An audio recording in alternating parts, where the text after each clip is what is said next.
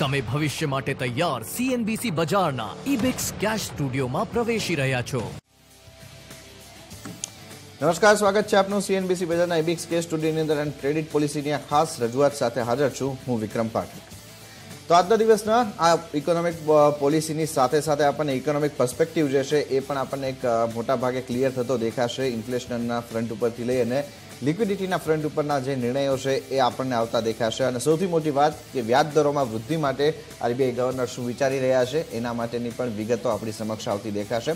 તો આ ખાસ પોલિસીની ચર્ચામાં આપણી સાથે જોડાશે બીએસસી બ્રોકર્સ ફોરમના ચીફ ઇકોનોમિસ્ટ અને chief operating officer Aditya Srinivas Axis mutual ફંડના fixed ઇન્કમના ડેપ્યુટી હેડ દેવાંગ શાહ અને માર્કેટ એક્સપર્ટ પ્રતીત પટેલ. તો ફર્સ્ટ ઓફ ઓલ પ્રતિત, આપની પાસે આવીશું. ગુડ મોર્નિંગ શું પર્સપેક્ટિવ આપનો બની રહ્યો છે? માર્કેટ શું એક્સપેક્ટેશન રાખી રહ્યું છે આ પોલિસી પાસેથી? Good morning Vikram. માર્કેટની એક્સપેક્ટેશન જોઈએ તો માર્કેટ એવું માનીને ચાલી રહ્યું છે કે આ પોલિસીમાં તો ડેફિનેટલી કોઈ ખાસ એવો બદલાવ નહીં આવે. પરંતુ માર્કેટને ખાસ એ જાણવું છે ગવર્નર સાહેબના પાસેથી કે આવનાર સમયમાં કઈ રીતનો આરબીઆઈ નો રૂખ રહેશે કે આરબીઆઈ કઈ રીતે ઇન્ટરેસ્ટ રેટ હાઇક અથવા તો આ સિનારીઓ ઉપર ડિસ્કસ કરે છે.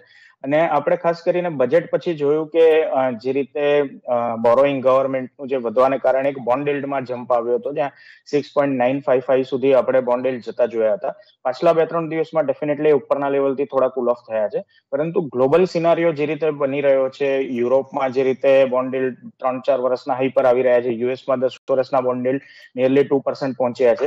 તો આવા સંજોગમાં ગવર- ગવર્નર સાહેબ કઈ રીતે રોડમેપ આપશે આવનાર સમયમાં રેટ હાઇકને લઈને અથવા તો પોલિસીને લઈને એની ઉપર ખાસ કરીને માર્કેટની નજર રહેશે કે આવનાર ક્યાં, ક્યાંથી એ લોકો રેટ હાઇક કરવા માટે વિચારી રહ્યા છે અથવા તો ક્યાં સુધી આરબીઆઈ કમ્ફર્ટ ઝોનમાં છે. કારણ કે આપણે જોઈએ તો આપણા ત્યાં ઇન્ફ્લેશન બી ખાસ એટલી બીજા compare to other international market આપણે ત્યાં એ ચિંતા હજુ સુધી નથી એટલી મેજર કે જેને કારણે કોઈ ખાસ એવા ફાસ્ટ ડિસિઝન લેવામાં આવે. તો મારી દ્રષ્ટિએ આવનાર સમયનો રોડમેપ શું રહેશે એની ઉપર માર્કેટની ખાસ નજર રહેશે.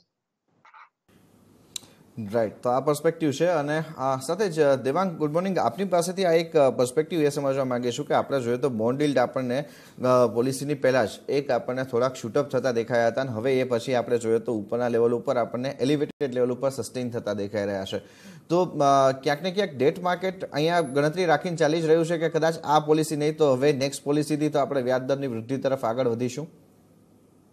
તો મારો એક્સપેક્ટેશન એવો છે કે એકચ્યુઅલી મોનેટરી પોલિસીમાં મોનેટરી પોલિસીમાં માર્કેટનો એક્સપેક્ટેશન છે કે રિવર્સ રેપો રેટ હાઇક થશે અરાઉન્ડ વીસથી ચાલીસ બેસીસનો અને પ્રોબેબલી આરબીઆઈ થોડું આઉટલુક ઓન ઇન્ફ્લેશન ચેન્જ કરશે. થોડો બહુ ગ્રોથનો ઇન્ફ્લેશન આઉટલુક ચેન્જ કરશે, પણ રેપો રેટ હાઇક કઈ ચેન્જ નહીં થાય. આઈ થિંક બધાની નજર એક ચીજ પર રહેશે કે સ્ટાન્સ ચેન્જ કરે છે કે નહીં. અમારો પોઈન્ટ એવો છે કે probably a fifty fifty probability છે કે સ્ટાન્સ ચેન્જ થઈ શકે આ પોલિસી કે એપ્રિલ પોલિસીમાં બિટવીન ફેબ્રુઆરી અને એપ્રિલ એ લોકો સ્ટાન્સ ચેન્જ કરશે. I would assign a fifty percent probability today also માર્કેટમાં રિવર્સ રેપો રેટ હાઇકનો ઇમ્પેક્ટ કંઈ થશે નહીં, ક્યોંકિ એ લોકોએ VRR cut off three ninety nine four percent લઈને આવીને જે લોકો લિક્વિડિટી ઓપરેશન્સ કરે છે, એના હિસાબે મોટા મોટી માર્કેટની પ્રાઇસિંગ ચાર ટકાની થઈ ગઈ છે. એના હિસાબે રિવર્સ રેપો રેટ હાઇકનું એક્સેપ્ટ ફોર સમ ટેક્ટિકલ એકદમ ટેકનિકલ થોડો સેલ ઓફ આવે, અડધો એક કલાક માટે છોડીને કઈ મોટો સેલ ઓફ દેખાતો નથી. આઈ થિંક અગર ન્યુટ્રલ સ્ટાન્સ કરશે, તો market ten fifteen બેસીસનો sell off across the curve આપણે જોઈ શકીશું. ગાઈડન્સમાં બિકોઝ અમારો એ વ્યૂ છે કે ઇન્ફ્લેશન ગ્લોબલ સેન્ટ્રલ એન્વાયરમેન્ટ એવો છે કે જ્યાં ઇન્ફ્લેશન પરસિસ્ટન્ટ છે અને ગ્લોબલ સેન્ટ્રલ બેંક્સ હવે થોડા હોકિશ થઈ ગયા છે, તો RBI April onwards I think guidance path આપી રહી છે. Market currently around three seventy five to four percent operative rate અને અકોમોડેટિવ સ્ટાન્સ પ્રાઇસ કરી રહ્યું છે. તો એના કરતાં અગર કંઈ નેગેટિવ આવી, તો બોન્ડ ડીલ્સ પર થોડો આજે ઇમ્પેક્ટ દેખાઈ શકે. ઓકે તો આ એક પર્સ્પેક્ટિવ છે બોન્ડ માર્કેટના ફ્રન્ટ ઉપર. આદિત્ય, આપની પાસેથી એક પર્સ્પેક્ટિવ જે સમજવા માંગીશું. એ એ બની રહ્યો છે કે જે પ્રમાણેનો આઉટલુક અત્યારે આપણે જોઈએ તો ગવર્મેન્ટે બજેટની અંદર જે બોરોઈંગ્સ માટેનો આપ્યો છે અને મોટું બોરોઈંગ જે છે તે આપણને આ ફ્રન્ટ ઉપરથી આવતું જે દેખાવાનું છે. એની ઇમ્પેક્ટ આપણા બોન્ડ માર્કેટથી માંડી અને ઓવરઓલ જે આખો ફ્રન્ટ છે આપણા લિક્વિડિટીનો એના ઉપર આવતી દેખાશે.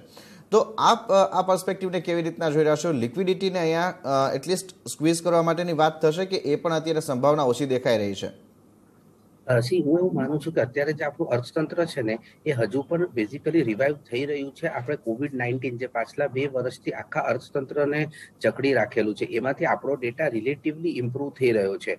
આપણા છેલ્લા ક્વાર્ટરનો GDP eight point four percent આવ્યો. આખા વર્ષનો જે એસ્ટિમેટ હતું તે માઇનસ સેવન પોઈન્ટ થ્રીથી સારો આવ્યો કે માઇનસ સિક્સ પોઈન્ટ સિક્સ હું એવું માનું છું કે અત્યારે આપણે current inflation five point five nine છે, જે પહેલા ફોર પોઈન્ટ નાઇન વન હતું. અત્યારે આરબીઆઈ નું જે ટાર્ગેટ બેઝ ઇન્ફ્લેશન પોલિસીનો અપ્રોચ છે કે જેમાં ફોર પર્સન્ટ બેઝ રેટ અને પ્લસ માઇનસ ટુ પર્સન્ટ એટલે સિક્સ પર્સન્ટ ક્રોસ જ્યાં સુધી ઇન્ફ્લેશન નહીં કરે, હું નથી માનતો આરબીઆઈ કોઈ પણ જાતની ઉતાવળ કરશે ઇન્ટરેસ્ટ રેટ વધારવામાં. પ્લસ તમે જોશો તો ફિસ્કલ ડેફિસિટ એટલે બોરોઇંગ્સનો પણ જે ઇસ્યુ હતો, આપણે બજેટમાં બી સરકારે જે કેપિટલ કેપેક્સ પર ધ્યાન આપ્યું છે seven point three lakh crore રૂપીઝનું capex બજેટમાં અનાઉન્સ થયું છે, જેના લીધે માર્કેટે પણ બજેટને આવકાર્યું હતું અને એ નીડ ઓફ ધી અવર બી છે, કારણ કે ઇકોનોમીને જો આપણે સસ્ટેનેબલ ગ્રોથ પર લાવી હોય, તો કેપિટલ એક્સપેન્ડિચર કરવો પડશે. એ માટે જે ફિસ્કલ ડેફિસિટના બી જે ટાર્ગેટ્સ રખાયા હતા કે ભાઈ અત્યારે આપણે સિક્સ પોઈન્ટ નાઇન પર છીએ, આવતા વર્ષે સિક્સ પોઈન્ટ ફોર અને two thousand twenty five twenty six સુધી આપણે સારા ચાર ટકાનું ફિસ્કલ ડેફિસિટને મેનેજ કરવાનું આપણે એ જોશું. એટલે ઓવરઓલ તમે જોશો ને તો અત્યારે આરબીઆઈ બી હું માનું છું કે થોડું વેટ એન્ડ વોચ અપ્રોચમાં જશે અકોમોડેટિવ સ્ટેન્ડ કન્ટિન્યુ રાખશે અને બેઝિકલી જૂન પછી કદાચ એમને એમ લાગે કે ભાઈ ઇન્ફ્લેશન એકચ્યુઅલી વધી ગયું છે અથવા ઇકોનોમીમાં બેઝિકલી પ્રેશર આવે છે તો કદાચ એ ઇન્ટરેસ્ટ રેટ વધારે. સી યુએસ અને યુરોપની વાત કરીએ તો યસ ત્યાં ઇન્ફ્લેશન ઘણા હાઈ લેવલ પર છે. અમેરિકામાં સાત ટકા ઇન્ફ્લેશન છે, જે નાઇન્ટીન એટી ટુ થી હાઈએસ્ટ લેવલ પર છે. બેઝિકલી યુરોપમાં ફાઈવ પોઈન્ટ ફોર પર્સન્ટ છે, જે ટ્વેન્ટી યર્સના હાઈ પર છે. એટલે બેઝિકલી હું એવું માનું છું કે આની અંદર તમે જોશો ને તો ઇન્ડિયામાં હજુ ઇન્ફ્લેશનરી પ્રેશર એટલું બધું આપણું નથી થયું. પ્લસ ઇકોનોમીને રિકવર કરવા માટે. સી આપણી ઇકોનોમી એવી છે ને કે જેમાં ફોર્મલ ઇન્ફોર્મલ બેવ સેક્ટર મોટા પાયાનો ભાગ ભજવે છે. પ્લસ જે સેલરીડ વર્ક છે કે જે મોટા ભાગનો વર્ક છે, જે ઈએમઆઈ ના બેઝિસ પર બેઝિકલી ઘર લેતું હોય છે, કાર લેતું હોય છે, બાકીની વસ્તુઓ કેપિટલ ગુડ્સ બાય કરવાની ટ્રાય કરતું હોય છે. તો એમના માટે મંથલી ઈએમઆઈ એક બહુ જ ઇમ્પોર્ટન્ટ ફેક્ટર બની જાય છે મંથલી ઈએમઆઈ કરેક્ટ એટલે એની અંદર એક વાઇટલ ફેક્ટર હું માનું છું કે આરબીઆઈ અત્યારે બી તમે જોશો ને, તો આપણે હોમ લોન લેવા જઈએ તો સિક્સ પોઈન્ટ ફાઈવથી સિક્સ પોઈન્ટ સેવન છે. મારા અઢાર વર્ષના કેરિયરમાં મેં આટલો એટ્રેક્ટિવ રેટ હોમ લોન માટે નથી જોયો. એટલે એના લીધે તમે જોશો તો રિયલ એસ્ટેટ સેક્ટરમાં પણ રિલેટિવલી ઇમ્પ્રુવમેન્ટ ખાસું એવું દેખાયું છે. કોર્પોરેટ્સ પણ એક્સપાન્શન માટે બેઝિકલી ટ્રાય કરી રહ્યા છે. તો આવા ટાઈમ પર હું માનું છું કે આરબીઆઈ થોડું વેટ એન્ડ વોચ કરશે અને જૂન પછી કદાચ બેઝિકલી ઇન્ટરેસ્ટ રેટ વધારવાનું નક્કી કરે. ઓકે તો આ એક પર્સપેક્ટિવ આપણને અહીંયા દેખાઈ શકે છે અને એની સાથે આપણે જોઈએ તો અત્યારે એક બીજા સમાચાર પણ આવી રહ્યા છે. એના ઉપર પણ નજર કરી લઈએ તો આવતીકાલે સેબીમાં ડીઆરએસપી દાખલ કરી શકે છે એલઆઈસી અને આઈઆરડીઆઈ એટલે કે જે ઇન્સ્યોરન્સ રેગ્યુલેટર ઓથોરિટીઝ છે, એમના તરફથી પણ અહીંયા એલઆઈસીને એક ગ્રીન શૂટ મળતું દેખાઈ રહ્યું છે કે તેઓ અહીંયા જે હવે આઈપીઓ માટેની પ્રોસિંગની છે એને આગળ વધારી શકે છે. ગઈકાલની જે બોર્ડ બેઠકની અંદર નિર્ણય લેવાયો હતો. તો આ એક અત્યારે મહત્વના સમાચાર આપણને ક્રેડિટ પોલિસીની પહેલાં આવતા દેખાઈ રહ્યા છે અને એલઆઈસીના આઈપીઓને પ્રસ્તાવને મંજૂરી મળી છે અને ડીઆરએસપી પણ અહીંયા આવતીકાલ સુધીમાં સેબીની અંદર ફાઇલ થતું દેખાઈ શકે છે. એટલે કે આઈપીઓ માટેની જે એક સૈદ્ધાંતિક અત્યાર સુધીની આપણે મંજૂરીની વાત કરતા હતા, હવે આ સૈદ્ધાંતિક મંજૂરી આગળ વધી અને ઓન પેપર આવી ચૂકી છે. અને અહીંયા સેબીની અંદર ડીઆરએસપી પણ અહીંયા ફાઇલ થતું આપણને દેખાઈ શકે છે. તો એ પર્સપેક્ટિવ અહીંયા આપણે આ ખાસ જોવાનું રહેશે. આગળ વધીએ આપણી ક્રેડિટ પોલિસીની ડિસ્કશન્સ ઉપર અને આ સમાચારોને લઈને માર્કેટ એક્શન અત્યારે આપણને નહીં દેખાય કારણ કે એ એક્શન જે છે તે આપણને મોસ્ટલી દેખાશે. આ પોલિસી બાદના આપણને જે પ્રમાણે એના સ્ટ્રેન્થ આવતા દેખાય છે એના માટે.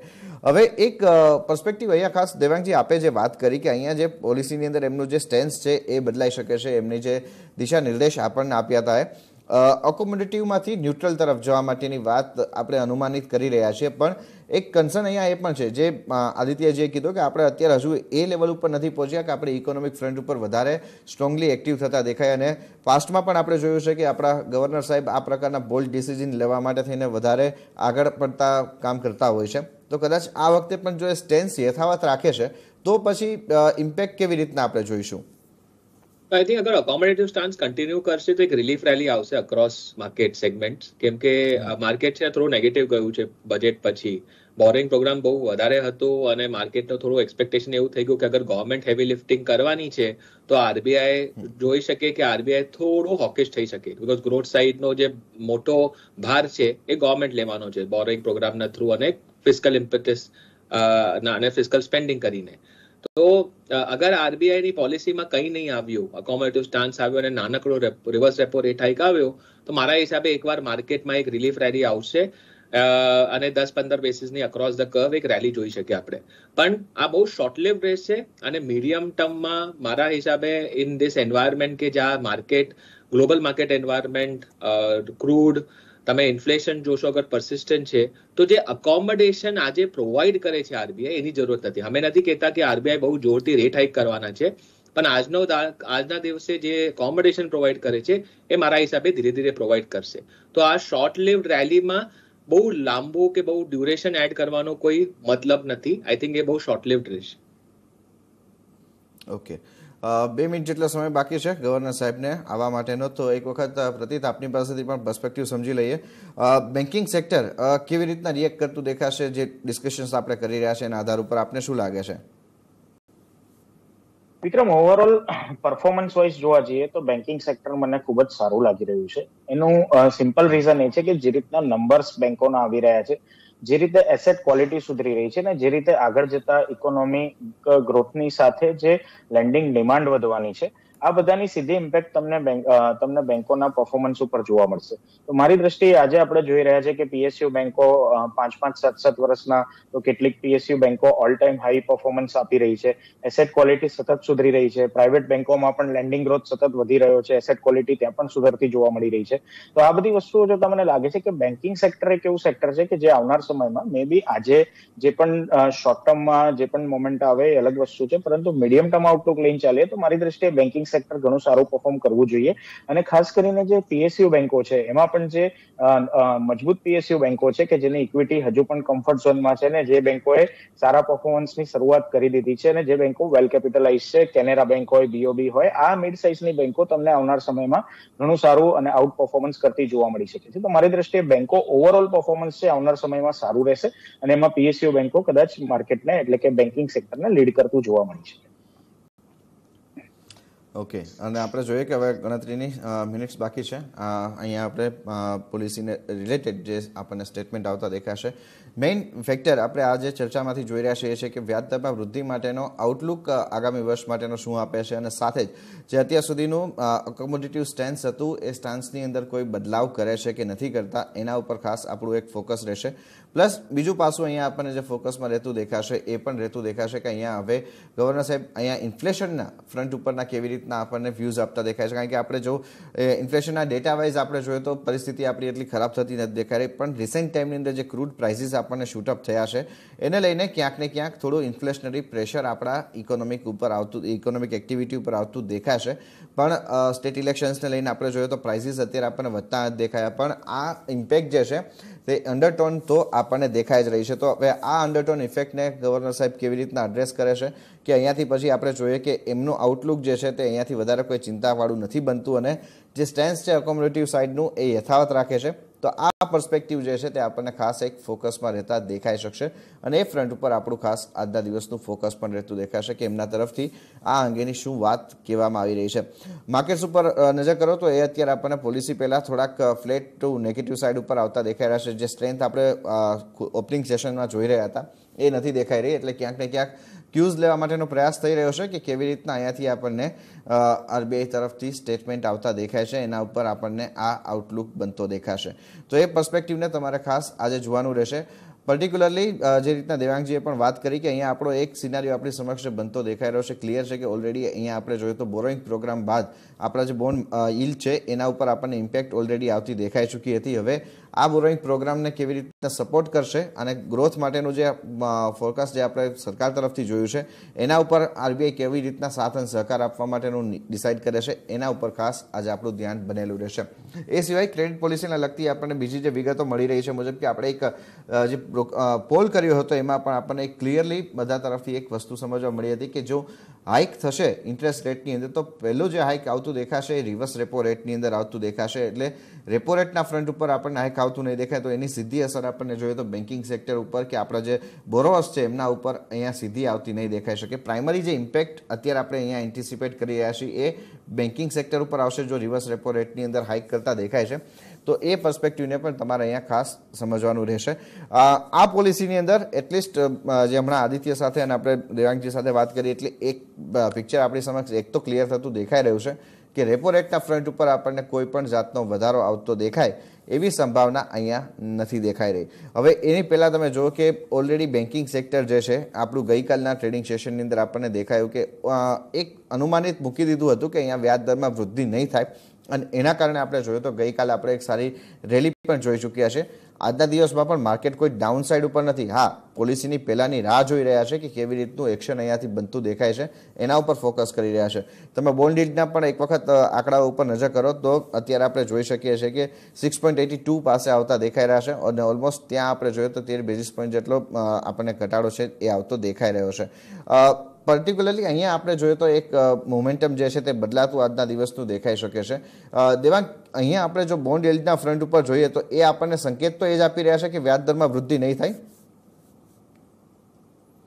ઓકે દેવાંગને અવાજ નથી આવી રહ્યો. આદિત્ય, આપનો પર્સપેક્ટિવ સમજાવો. આપને લાગે છે કે જે પ્રમાણે બોન્ડ યીલ્ડ આપણને નીચેની તરફ આવતા દેખાઈ રહ્યા છે દેટ મીન્સ કે અહીંયા આપણને આજે કદાચ વ્યાજ દરમાં વૃદ્ધિ નહીં થાય એવું અત્યારે સિક્યોરિટીઝ માર્કેટ તો એન્ટિસિપેટ કરીને ચાલી રહ્યું છે.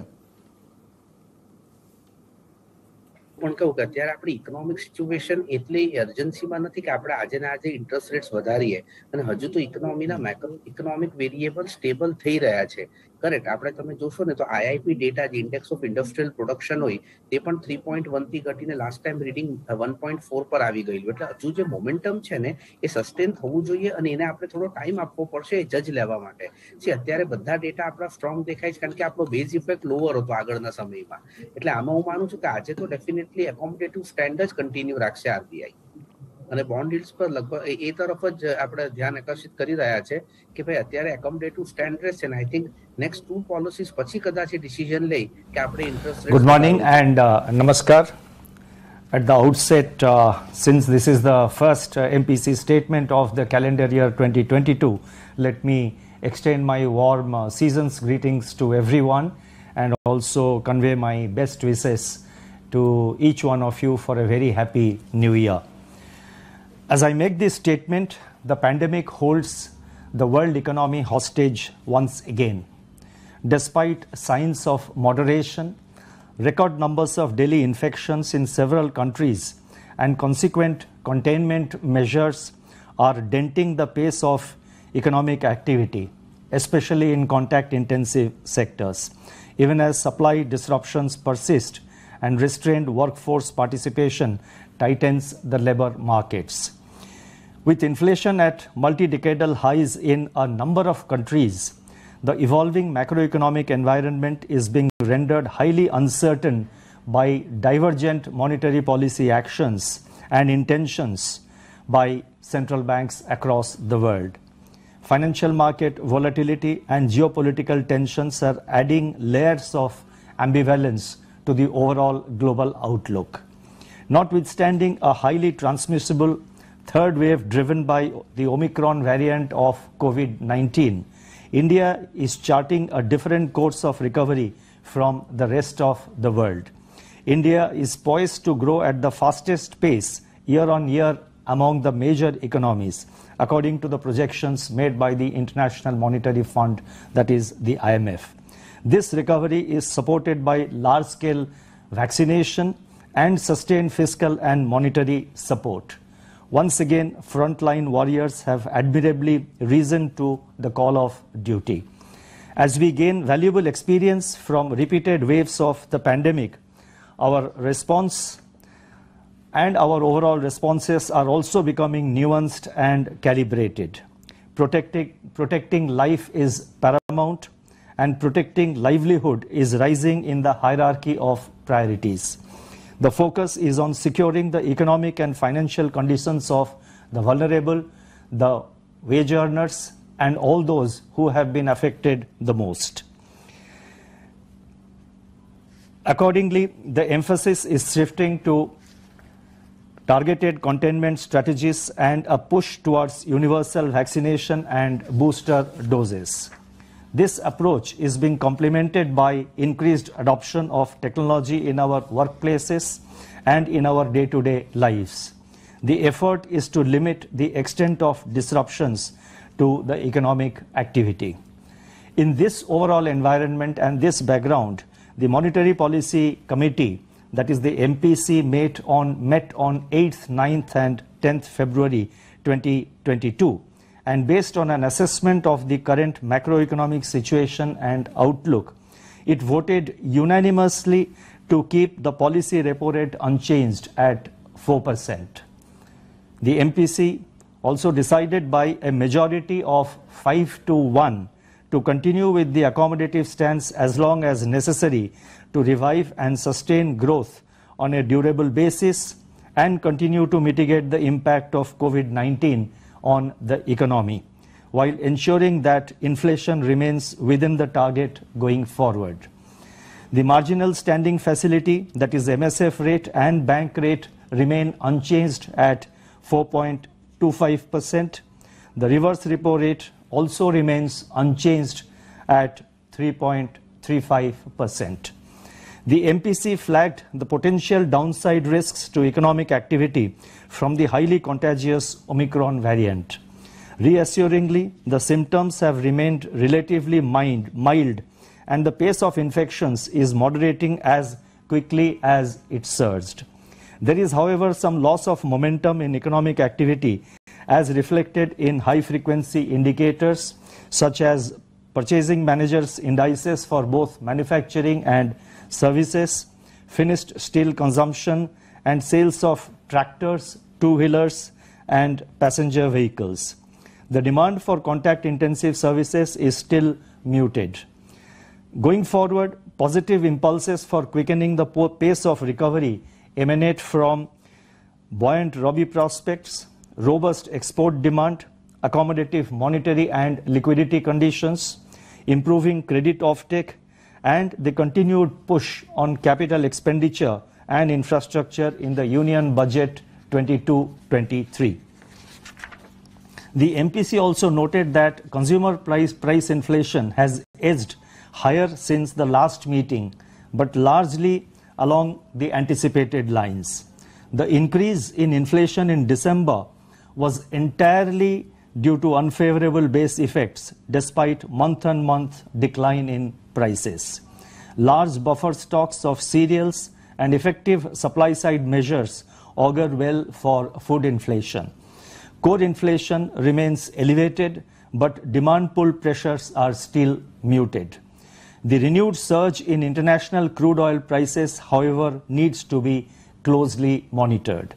On balance, headline inflation is expected to peak in Q4 21-22, that is in the current quarter, within the tolerance band, and then moderate closer to the target in the second half of 22-23, providing room for monetary policy to remain accommodative. At the same time, output is just barely above its pre-pandemic level, while private consumption is still lagging. Global headwinds are accentuating. Overall, taking into consideration the outlook for inflation and growth, in particular the comfort provided by the improving inflation outlook, the uncertainties related to Omicron and global spillovers, the MPC was of the view that continued policy support is warranted for a durable and broad-based recovery. I think this particular sentence is very important, so let me just read it once again for better clarity. Overall, taking into consideration the outlook for inflation and growth, in particular the comfort provided by improving inflation outlook, the uncertainties related to Omicron and global spillovers, the MPC was of the view that continued policy support is warranted for a durable and broad-based recovery. I would now like to focus on the domestic growth scenario. In India, real GDP growth at 9.2% for 21-22 takes takes uh, you know takes it modestly above the level of GDP in 2019-20. Private consumption, the mainstay of domestic demand, continues to trail its pre-pandemic level. The persistent increase in international commodity prices, surge in volatility of global financial markets and global supply bottlenecks can exacerbate risks to this outlook.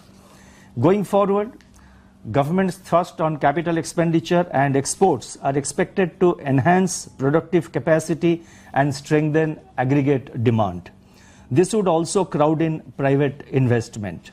The conducive financial conditions engendered by the RBI's policy actions will provide impetus to investment activity. The surveys done by the Reserve Bank reveal that capacity utilization is rising and the outlook on business and consumer confidence remain in optimist, optimistic territory, which should support investment as well as consumption demand. The prospects for agriculture have brightened on good progress of winter crop sowing. Overall, there is some loss of momentum of near-term growth while global factors are turning adverse. Looking ahead, domestic growth drivers are gradually improving. Considering all these factors, real GDP growth is projected at 7.8%. I repeat, 7.8% for 22-23, with Q1 22-23 at 17.2%, Q2 at 7%, Q3 at 4.3%, and Q4 at 4.5%. I would now like to turn to inflation. The CPI inflation trajectory has moved in close alignment with our projections. In particular, the softening of food prices is providing welcome relief. The improving prospects for food grains production and the expected easing of vegetable prices on fresh winter crop arrivals are adding further optimism. Moreover, the softening of pulses and edible oil prices is likely to continue in response to strong supply side interventions by the government and increase in domestic production. The hardening of crude oil prices, however, presents a major upside risk to the inflation outlook. Core inflation remains elevated at tolerance testing levels. Although the continuing pass through of tax cuts relating to petrol and diesel last November would help to moderate input cost pressures to some extent. The transmission of input cost pressures to selling prices remains muted in view of the continuing slack in demand. Further, as risks from Omicron wane and supply chain pressures moderate, there could be some softening of core inflation. On balance, the inflation projection for 2021-22 is retained at 5.3%, with Q4, that is the current quarter, at 5.7% on account of unfavorable base effects that ease subsequently. In particular, CPI reading for January 22 is expected to move closer to the upper tolerance band, largely due to adverse base effects. Taking all these factors into consideration and on the assumption of a normal monsoon, CPI inflation for 2022-23 is projected at 4.5%. I repeat, CPI inflation for 2022-23 is projected at 4.5% with Q1 22-23 at 4.9%, Q2 at 5%, Q3 at 4%, and Q4 at 4.22%, with risks broadly balanced. At the current juncture, the conduct, conduct of domestic monetary policy is primarily attuned to the evolving inflation and growth dynamics, even as we remain watchful of spillovers from uncertain global developments and divergent monetary policy responses. Our monetary policy would continue to be guided by its primary mandate of price stability over the medium term, while also ensuring a strong and sustained economic recovery. As stated by me earlier on several occasions, our actions will be calibrated and well telegraphed. I would now like to touch upon certain issues relating to financial stability. A strong and well functioning financial sector fortifies the foundations of growth and development. The Reserve Bank has accorded the highest priority to preserving financial stability by taking quick and decisive steps to ease liquidity constraints, restore market confidence, and prevent contagion to other segments of the financial market. We have been also strengthening the regulatory and supervisory framework for both banking and non-bank financial sectors to proactively identify, assess and deal with the vulnerabilities. Thus, despite the pandemic-induced bouts of extreme volatility, the Indian financial system has remained resilient and is now in a better position to meet the credit demands as recovery takes hold and investment activity picks up. The balance sheets of scheduled commercial banks are relatively stronger with higher capital adequacy, reduced NPA, higher provisioning cover, and improved profitability than in the previous years. We have to be, however, watchful of the impact of the pandemic on the banking and the NBFC sectors when the effects of regulatory reliefs and resolution fully work their way through. Banks and other financial entities would be well advised to, uh, to further strengthen their corporate governance and risk management strategies to build resilience in an increasingly dynamic and uncertain economic environment. They also need to continue the process of capital augmentation and build up appropriate buffers. I would now like to touch on certain issues connected with liquidity and financial market conditions. The pandemic has delivered a once in a century crisis with a health shock morphing into a macroeconomic and financial shock. The RBI undertook a slew of measures to deal with such an exceptional situation. As a consequence, borrowing costs fell to their lowest levels in decades and spreads narrowed across rating cohorts.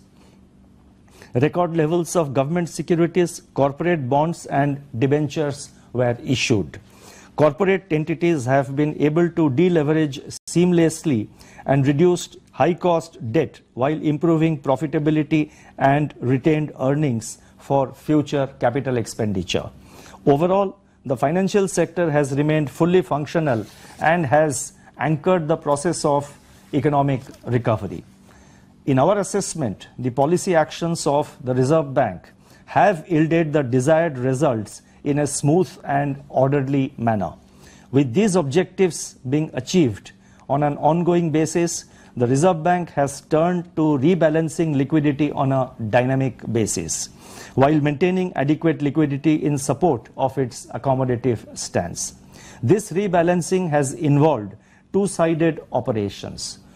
First, that is on the one side, rebalancing liquidity from overnight fixed rate reverse repo towards 14-day variable rate reverse repo, that is v, VRRR auction as the main operation supported by fine-tuning auctions of varying tenors as envisaged in the revised liquidity management framework of February 2020. And second, that is on the other side, conducting repo auctions of conducting repo auctions of 1 to 3 day maturity to meet transient liquidity mismatches and shortages as for instance in the recent case of more than expected GST outflows during the third week of January 2022 the key to effective liquidity management is the timing and having a nuanced and nimble footed approach that responds swiftly to the manner in which liquidity tilts. As a result of RBI's rebalancing operations, the daily average absorption under fixed rate reverse repo has moderated sharply since August 2021 when the rebalancing started. Overall, system liquidity, however, remains in large surplus, though it has moderated over the same period.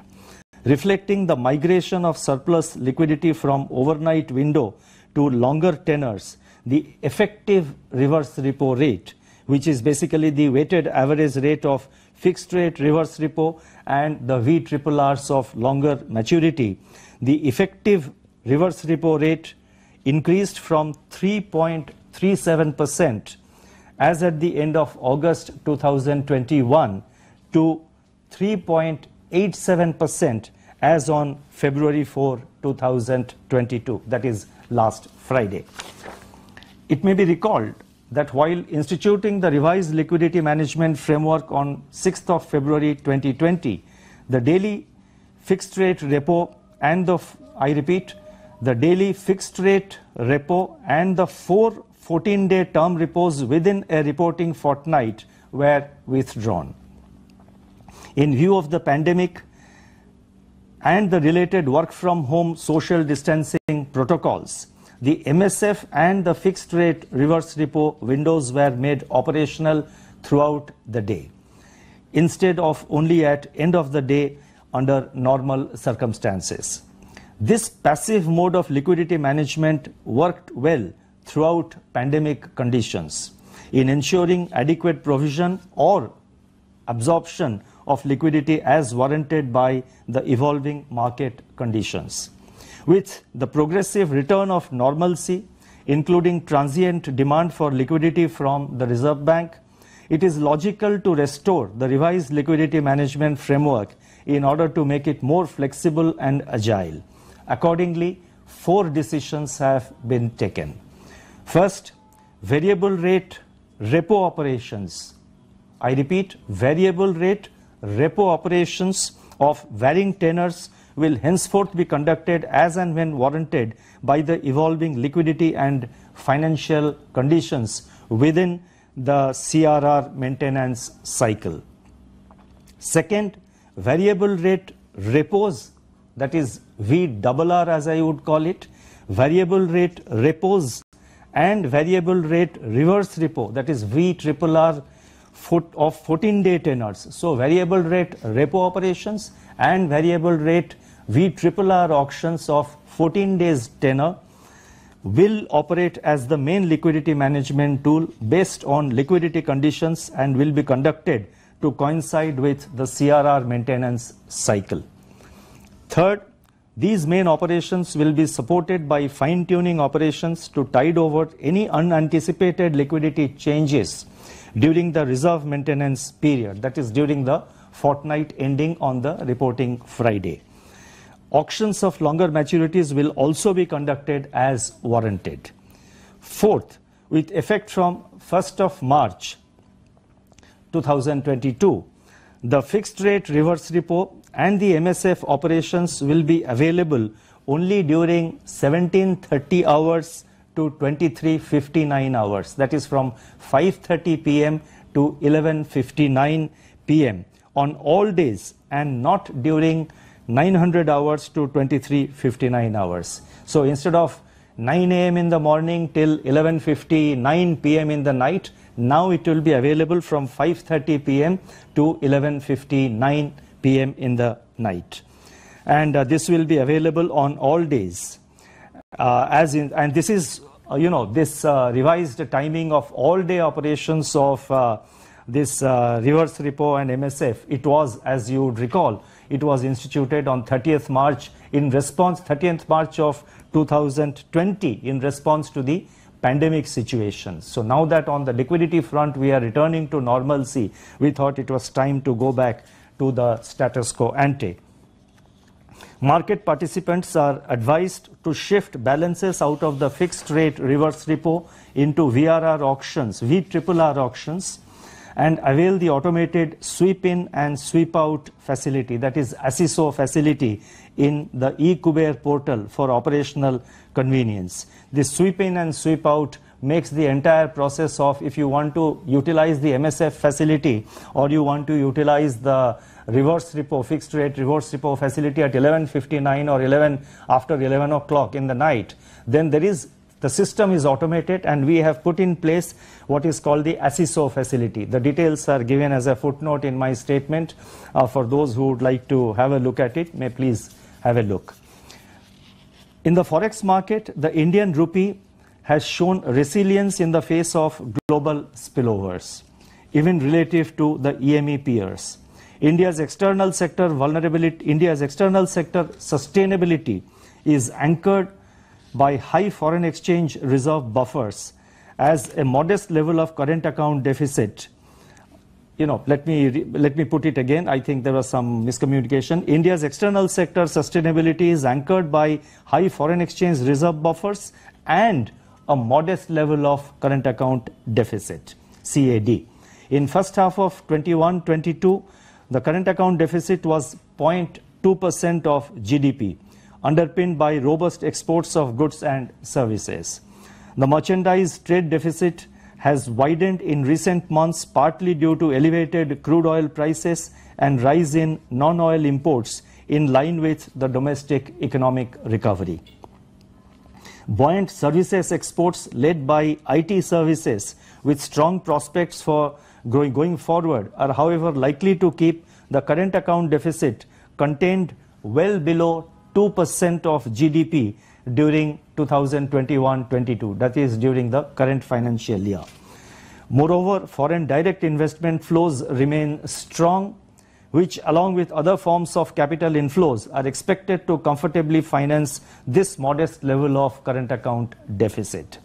In a global environment rendered highly volatile and uncertain by diverging monetary policy actions and monetary policy stances by various central banks geopolitical tensions, elevated crude oil prices, and persistent supply bottlenecks, emerging economies are vulnerable to destabilizing global spillovers on an ongoing basis.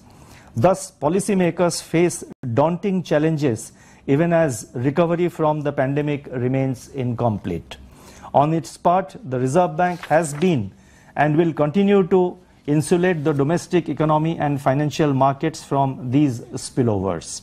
Further, while the RBI will continue to focus on smooth completion of the government borrowing program, market participants also have a stake in orderly evolution of financial conditions and the yield curve. It is expected that market participants will engage responsibly and contribute to cooperative outcomes that benefit all. Let me now proceed and make uh, a few more, a few additional uh, measures which uh, you know we have decided, and let me now go and announce a few more, uh, some more additional measures. The first one relates to extension of the on-tap liquidity facility for emergency health services and contact-intensive services. On-tap liquidity facilities of rupees 50,000 crore and 15,000 crore for emergency health services and contact intensive services, uh, contact intensive service sectors, uh, respectively, were announced in May, 2000, in May and June 2021 during the second wave of the pandemic. Banks were given certain incentives for lending under the two schemes. On account of the continued uncertainties brought on by the third wave, the two schemes are now being extended from 31st March to 30th June 2022.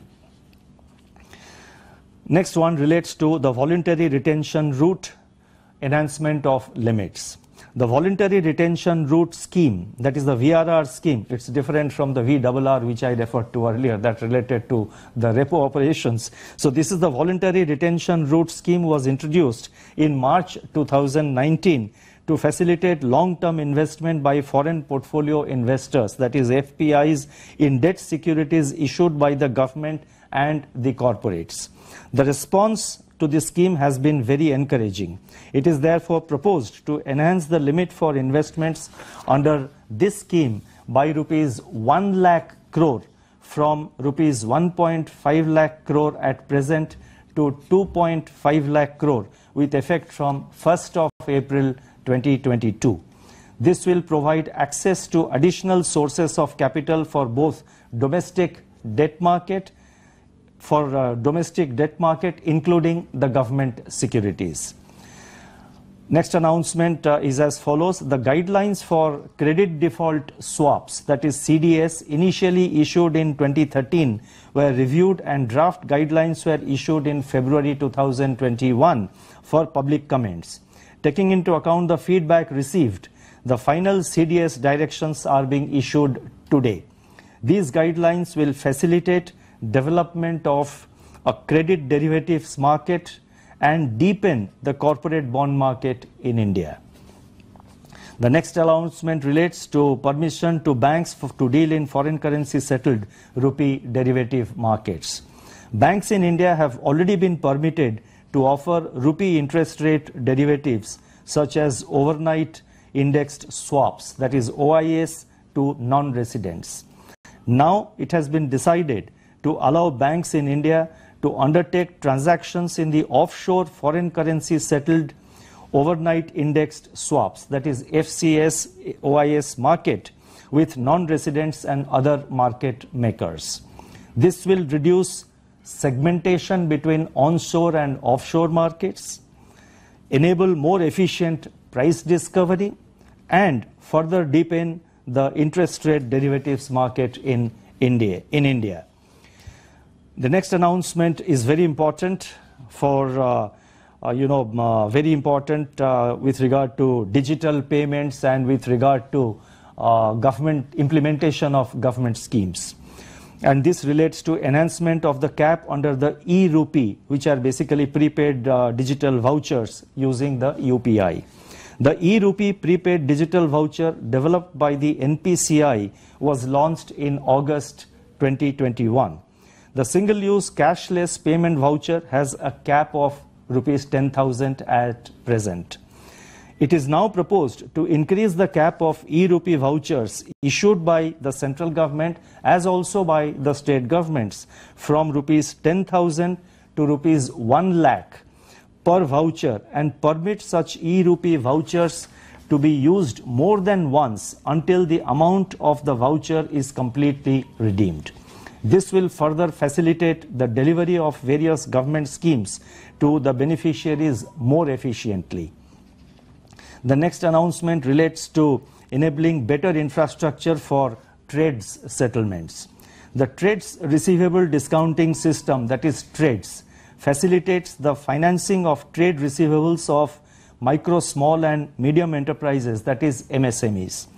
Transactions in trades are settled through the National Automated Clearing House System, that is NAC system keeping in view the requests received from the stakeholders and to further enhance the ease of financing the growing liquidity requirements of the MSMEs, it is proposed to increase the NAC mandate limit from rupees 1 crore at present to rupees 3 crore for trades related settlements. The next announcement, and this is the last announcement before I conclude, I request your patience. Uh, this relates to issuance of master direction for IT outsourcing and master direction on information technology related to governance, risk management, etc. Extensive, out, extensive outsourcing of critical IT services, leveraging of technology by regulated entities of the Reserve Bank, and increasing use of digital channels by customers expose the regulated entities to significant financial, operational, and reputational risks. A need was therefore felt to review and consolidate and also streamline the existing guidelines. Accordingly, two draft directions will be issued for comments of stakeholders and members of the public. The first one relates to Reserve Bank of India IT outsourcing directions 2022. The second one relates to Reserve Bank of India information technology, information technology governance, risk, controls and assurance practices directions 2022. Let me now conclude. We are living in a world of Knightian uncertainty in the absence of determinate knowledge about the next mutation of COVID 19. The ability to forecast the future course of the economy is so contingent on the evolution of the virus that one prognosis is as good or as bad as the other and as ephemeral. If the last two years of living with the virus have taught us anything, it is to remain humble but grounded in self belief, never losing confidence and optimism. As the great Lata Mangeshkar, whom we lost recently, sang in her immortal voice, आज फिर जीने की तमन्ना है together with the spirit behind the next line of this beautiful song she has conveyed, conveyed an eternal message of optimism. We in the Reserve Bank have remained steadfast in our commitment to safeguard trust and confidence in the domestic financial system as we rebuild, rebuild the foundations of strong and sustainable growth with macroeconomic stability. This has been our anchor in the ocean of uncertainty. We are inspired by Mahatma Gandhi's spirit of constant striving amidst challenges. And I quote, satisfaction lies in the effort. I repeat, satisfaction lies in the effort. Full effort is full victory. Thank you. Stay well, stay safe. Namaskar.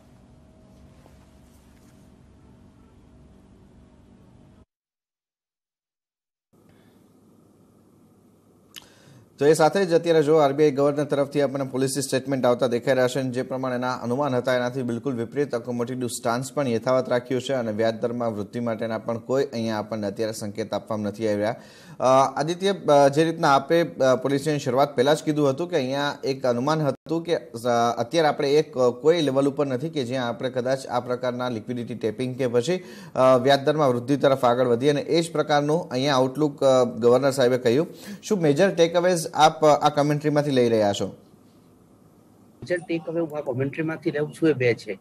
એક GDP growth જે project થયો છે seven point eight percent તે ખૂબ જ basically realistic છે અને અચીવેબલ છે. સી અત્યારે મેં જે જેટલું ઇકોનોમીનું સ્ટડી કર્યું છે ને, એમાં આપણી ઇકોનોમીમાં બે પાર્ટ છે, એક ઓર્ગેનાઇઝડ અને અનઓર્ગેનાઇઝડ હજુ પણ જે આપણું અનઓર્ગેનાઇઝ સેક્શન છે, કે જે ભાઈ મિડલ ક્લાસ સેગમેન્ટ છે લોઅર મિડલ ક્લાસ સેગમેન્ટ છે, ત્યાં હજુ પણ એટલી રિકવરી નથી આવીને જે ગવર્નર સાહેબે બી કીધું કે પ્રાઇવેટ કન્ઝમ્પશન હજુ પણ મ્યુટેડ છે. એટલે આ સિચ્યુએશનને ધ્યાનમાં રાખતા અકોમોડેટિવ સ્ટેન્ડ કન્ટિન્યુ રાખવું ખૂબ જ જરૂરી હતું. એક. સેકન્ડ જે ઇન્ફ્લેશનનું પ્રોજેક્શન કરવામાં આવ્યું છે આખા વર્ષ માટે ફોર પોઈન્ટ ફાઈવ પર્સન્ટ એ પણ તમે જોશો તો આરબીઆઈની જે આપણે ટાર્ગેટ બેઝ ઇન્ફ્લેશન પોલિસી છે કે જેમાં સિક્સ પર્સન્ટ આપણો અપર રેન્જ છે, તો એના કરતા આ રેન્જ કમ્ફર્ટેબલી ડાઉન છે by one point five percent અને જે રીતે અત્યારે આપણે વિન્ટરના ક્રોપ્સ થયા છે, આપણે વીટ છે બધા, આપણે સારો પાક જો થાય, તો આગળ જઈને સપ્લાય સાઇડ કન્સ્ટ્રેન્ટ પણ એટલા નહીં આવે, તો તમે જોઈ શકો છો કે ભાઈ ઇન્ફ્લેશન કંટ્રોલમાં રહેશે, તો ડેફિનેટલી આરબીઆઈ જે આ એકોમોડેટિવ સ્ટેન્ડ છે, તે હજુ થોડો સમય ચલાવશે. છે અહીંયા આપણે સમજવાની વિગત એ પણ છે કે કોર્પોરેટ છે લોઅર ઇન્ટરેસ્ટ રેટ્સ નો બેનિફિટ લઈ એક્સપાન્શન કરવામાં પણ એમને મદદ મળે છે. જેથી જોબ ઓપોર્ચ્યુનિટીઝ ઊભી થાય છે. રિયલ એસ્ટેટ સેક્ટરમાં આપણે જોયું તો interest rates housing loan low rates પર અવેલેબલ છે. તો ઘણા બધા metro સિટીઝમાં demand for housing housing sector has gone up અને હાઉસિંગ સેક્ટર એક ઇમ્પોર્ટન્ટ સેક્ટર હોય છે ઇકોનોમીમાં કારણ કે જે રીતે કન્સ્ટ્રક્શન એક્ટિવિટીઝ પિકઅપ થાય, એ રીતે જોબ્સ ગ્રાસરૂટ લેવલ પર બી તરત પિકઅપ થાય છે.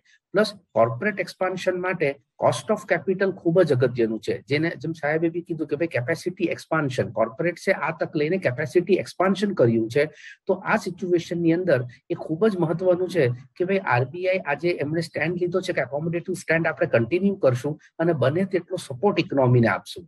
આ આપણે ઇન્ટરનેશનલ પર્સપેક્ટિવમાં પણ આ આપણા ઇન્ડિયન ઇકોનોમી માટે ખૂબ જ અગત્યનું હતું. એનું કારણ છે કે તમે ગ્લોબલ લેવલ પર જોશો ને, તો અત્યારે યુએસમાં ઇન્ફ્લેશન ઘણો વધ્યો, પણ ત્યાં બેઝિકલી જે આ લોકોએ આપણે ચીપ લિક્વિડિટી કરેલી, ટુ પોઈન્ટ ફાઈવ ટ્રિલિયન ડોલરનું જે પેકેજ ઉભું કરેલું, અને આગળ પણ એ લોકોએ ઘણા બધા ઇકોનોમિક પેકેજીસ જાહેર કરેલા હતા, એનું આ રિઝલ્ટ છે કે ઇન્ફ્લેશન તા આટલું બધું વધ્યું છે. જ્યારે આપણા ત્યાં ગવર્મેન્ટે કેપિટલ એક્સપેન્ડિચર તરફ વધારે ફોકસ કર્યું બજેટમાં જે નીડ ઓફ ધી અવર હતી, અને એ વસ્તુને સપોર્ટ કરવા માટે મોનિટરી પોલિસી ફ્રેમવર્કનો સપોર્ટ પણ અત્યંત જરૂરી છે. કારણ કે આજે આપણે કોર્પોરેટ કેપેક્સ એક્સપાન્ડ કરવું હોય, તો કોસ્ટ ઓફ કેપિટલ એ પહેલી વસ્તુ છે જેના પર કોર્પોરેટ્સ ફોકસ રાખે. એટલે આને ધ્યાનમાં રાખતા જે ગવર્નર સાહેબે એકોમોડેટિવ સ્ટેન્ડ અને કોઈ પણ જાતના ઇન્ટરેસ્ટ રેટમાં ફેરફાર કર્યો નહીં. હું માનું છું કે ઇવન આપણે જૂન પછી બી તમે જોશો કે જો મોન્સૂન આપણું પ્રોપર ઓનસેટ થઈ જાય અને મોન્સૂનનું પ્રિડિક્શન બી નોર્મલ રહે, તો ઇન્ફ્લેશન કંટ્રોલમાં રહેશે, તો હું માનું છું કે હજુ થોડો ટાઈમ આપણે આ જ પોલિસીમાં કન્ટિન્યુડ રહેશું. એનું એક બીજું બી કારણ છે કે કોવિડ નાઇન્ટીનના લીધે જે બેઝિકલી બિઝનેસ મોડલ્સમાં ચેન્જ આવ્યા છે, જે વીકર સેક્શન છે, એમને જે દબાણ પડ્યું છે લોઅર મિડલ ક્લાસને જે દબાણ આવ્યું છે. તો આ બધી વસ્તુને ધ્યાનમાં રાખતા જે સસ્ટેનેબલ રિકવરી છે આપણે અત્યારે ભલે આપણો ડેટા સારો દેખાતો હોય, પણ શું આપણે આને સસ્ટેન કરી શકશું એ અગત્યનો મુદ્દો છે અને એમાં લોઅર ઇન્ટરેસ્ટ રેટ એ ખૂબ જ ઇમ્પોર્ટન્ટ રોલ પ્લે કરતું હોય છે. અત્યારે જો આપણે એકદમ વ્યાજદર વધારવા માંડીએ, તો આજે રિકવરી ધીરે ધીરે સેટ થઈ રહી છે એ પાછી ડિરેલ થઈ જશે. પ્લસ ઇકોનોમીમાં ઘણો મોટો વર્ગ છે, જેને આ લોઅર ઇન્ટરેસ્ટ રેટથી બેનિફિટ થઈ શકે ઇન ટર્મ્સ ઓફ કોઈ હાઉસિંગ લોન લેવી છે કાર લોન લેવી છે કેપિટલ ગુડ્સ લેવું છે. પ્લસ કોર્પોરેટ એક્સપાન્ડ કરવું છે. એટલે બંને બાજુ એક કન્ઝમ્પશન જે એક ઇન્ડિવિજ્યુઅલની આપણે રિક્વાયરમેન્ટ હોય છે અને ઇન્ડિયન ઇકોનોમીનો જે થીમ છે consumption based economy domestic consumption based economy તો એમાં કોસ્ટ ઓફ કેપિટલ હંમેશા એક અગત્યનો રોલ પ્લે કરતું હોય છે. કારણ કે કોસ્ટ ઓફ કેપિટલ આપણી લો હોય, તો આપણે હિંમત કરીએ કે ચલો હવે આપણે ઘર વસાવીએ, ગાડી વસાવીએ. તો એ એક ફેક્ટર ખૂબ જ ઇમ્પોર્ટન્ટ છે અને એ ડિમાન્ડ વધે તો જ કોર્પોરેટને પણ એક્સપાન્ડ કરવાનું એ થાય કે ભાઈ ડિમાન્ડ છે ઇકોનોમીમાં તો આપણે આનો તક લઈને કેપેસિટી એક્સપાન્ડ કરીએ. એટલે આ બંને વસ્તુને ધ્યાનમાં રાખતા હું માનું છું કે આ નિર્ણય ખૂબ જ જરૂરી હતો અને આ ઇકોનોમીને સારો એવો બેનિફિટ પહોંચાડશે. પ્લસ આપણે એક થોડી મેક્રો ડિટેલની પણ વાત કરીએ, તો અત્યારે આપણું ફોરેન એક્સચેન્જ રિઝર્વ છસો ને ચોત્રીસ બિલિયન ડોલરનું છે, જે ખૂબ જ સ્ટ્રોંગ છે, જેનાથી ફોરેન ઇન્વેસ્ટર્સને પણ કોન્ફિડન્સ છે આપણી ઇકોનોમીમાં એટલે તમે જોઈ શકો છો કે ટેસ્લા પણ ઇન્ડિયામાં પોતાનું પ્લાન્ટ સેટઅપ કરવાનું વિચારું વિચારી રહ્યું છે. ઘણી બધી મલ્ટીનેશનલ કંપનીઝ ઇન્ડિયામાં આવવા માંગે છે. તો આપણું બેલેન્સ ઓફ પેમેન્ટ પણ એકંદરે ખૂબ જ મજબૂત છે. એમાં કોઈ આપણને એવો મેજર કઈ ઇસ્યુ છે નહીં. પ્લસ તમે જોશો તો એક્સપોર્ટ્સ આ વખતે આપણા એક્સપોર્ટ્સ ત્રણસો ને એક બિલિયન ડોલર થયા. જે આદિત્ય આપની પાસે આપની પાસે આવું જે આદિત્ય આપની પાસે ફરી આવું અત્યારે આપણી સાથે સિટી યુનિયન બેંકના એમડી અને સીઓ ડોક્ટર એન કામાકોડી પણ જોડાઈ ગયા છે. सर, स्वागत है सीएनबीसी बाज़ार में। एक पर्सपेक्टिव सर, एक बैंकर्स के हिसाब से आपसे समझना चाहेंगे। जिस तरह के कॉस्ट ऑफ़ फंडिंग के ऊपर गवर्नर साहब के कमेंट्स आए हैं आप इसको किस तरह से देख रहे हैं? और आगे जाके क्या बैंकिंग सेक्टर में जो अभी हम मार्जिन के आउटलुक को देख रहे हैं, वो क्या इसीलिए, इसी तरह से एलिवेटेड लेवल पे बरकरार रहते हुए देख पाएँगे? एकदम बढ़िया फैसला है। रीजंस भी बहुत स्पष्ट कहा हुआ है। दी सरप्लस लिक्विडिटी सिस्टम में है और इवन अभी इन्फ्लेशन ज़्यादा दिखता, के दिखने के बाद भी वो आगे दो क्वार्टर्स में वो नीचे आएगा करके उनका मॉडल का ऊपर ये फैसला लिया है। एंड ये प्रायोरिटी ग्रोथ वो इन्फ्लेशन के ऊपर अभी स्पष्ट कहा हुआ है। एंड ये भी बोला हुआ है वो कैपेसिटी यूटिलाइजेशन अभी तो थोड़ा थोड़ा बढ़ रहा है बट एकदम लाइक से वो इन्वेस्टमेंट साइकिल के ऊपर अभी अभी तक चालू नहीं है। सो so, ये अभी वो कंटिन्यूएशन जो कंटिन्यूटी बराबर है और the the the choice is एकदम लाइक से बहुत अच्छा है। वो कास्ट ऑफ़ कैपिटल भी अभी कम होगा। और दी अभी inflation I mean the rate of interest का डायरेक्शन अभी क्लियर है। अभी दी बॉन्ड मार्केट भी लाइक यील्ड भी बड़ा बड़ा हो रहा है almost and even the weighted average like से रिवर्स रिपो रेट के ऊपर बारे में भी वो पचास बेसिस पॉइंट तक ऊपर आया करके वो भी अभी कहा है सो ये अनदर एटलीस्ट वो दो टू तीन क्वार्टर्स के लिए एक अकोमोडेटिव स्टैंड और दी एग्जिस्टिंग रेट लाइक से अभी ऊपर होने का अभी चांसेस नहीं दिख रहा है सो so, वो ग्रोथ साइकिल लाइक से फटाफट आने के लिए ये लाइक से वो इंक्रीमेंटल कैटलिस्ट है बट वो अच्छा फैसला है एंड हम वेलकम करते हैं इसके बारे में। ઓકે સાથે અશ્વિન પારેખ એડવાઇઝરીઝના અશ્વિન પારેખ પણ આપણી સાથે જોડાઈ ગયા છે. અશ્વિનજી, આપનો પણ એક પર્સપેક્ટિવ અહીંયા સમજવા માંગીશું જે પ્રમાણેનું અકોમોડેટિવ સ્ટેન્સ આપણને યથાર્થ રાખ્યું છે ઇકોનોમિક ફ્રન્ટ ઉપરના અને આપણે જે ગ્રોથ પ્રોસ્પેક્ટ માટેની એન્ટિસિપેશન જે રાખી રહ્યા હતા સરકાર તરફથી પણ, એને સપોર્ટ આપતું આ સ્ટેપ ગવર્નર સાહેબનું જોઈ શકાશે? બિલકુલ. સી, બે કે ત્રણ પરિબળોએ કદાચ એની પાછળ કામ કર્યું હોય. પહેલું એ કે આપણે જ્યારે પણ બજેટમાં જ રિસેન્ટલી જોયું કે સરકારે આ વખતે કેપેક્સ માટેનું એક સારું એવું, એક એક સાડત્રીસ ટકાનો એક વધારો કર્યો છે.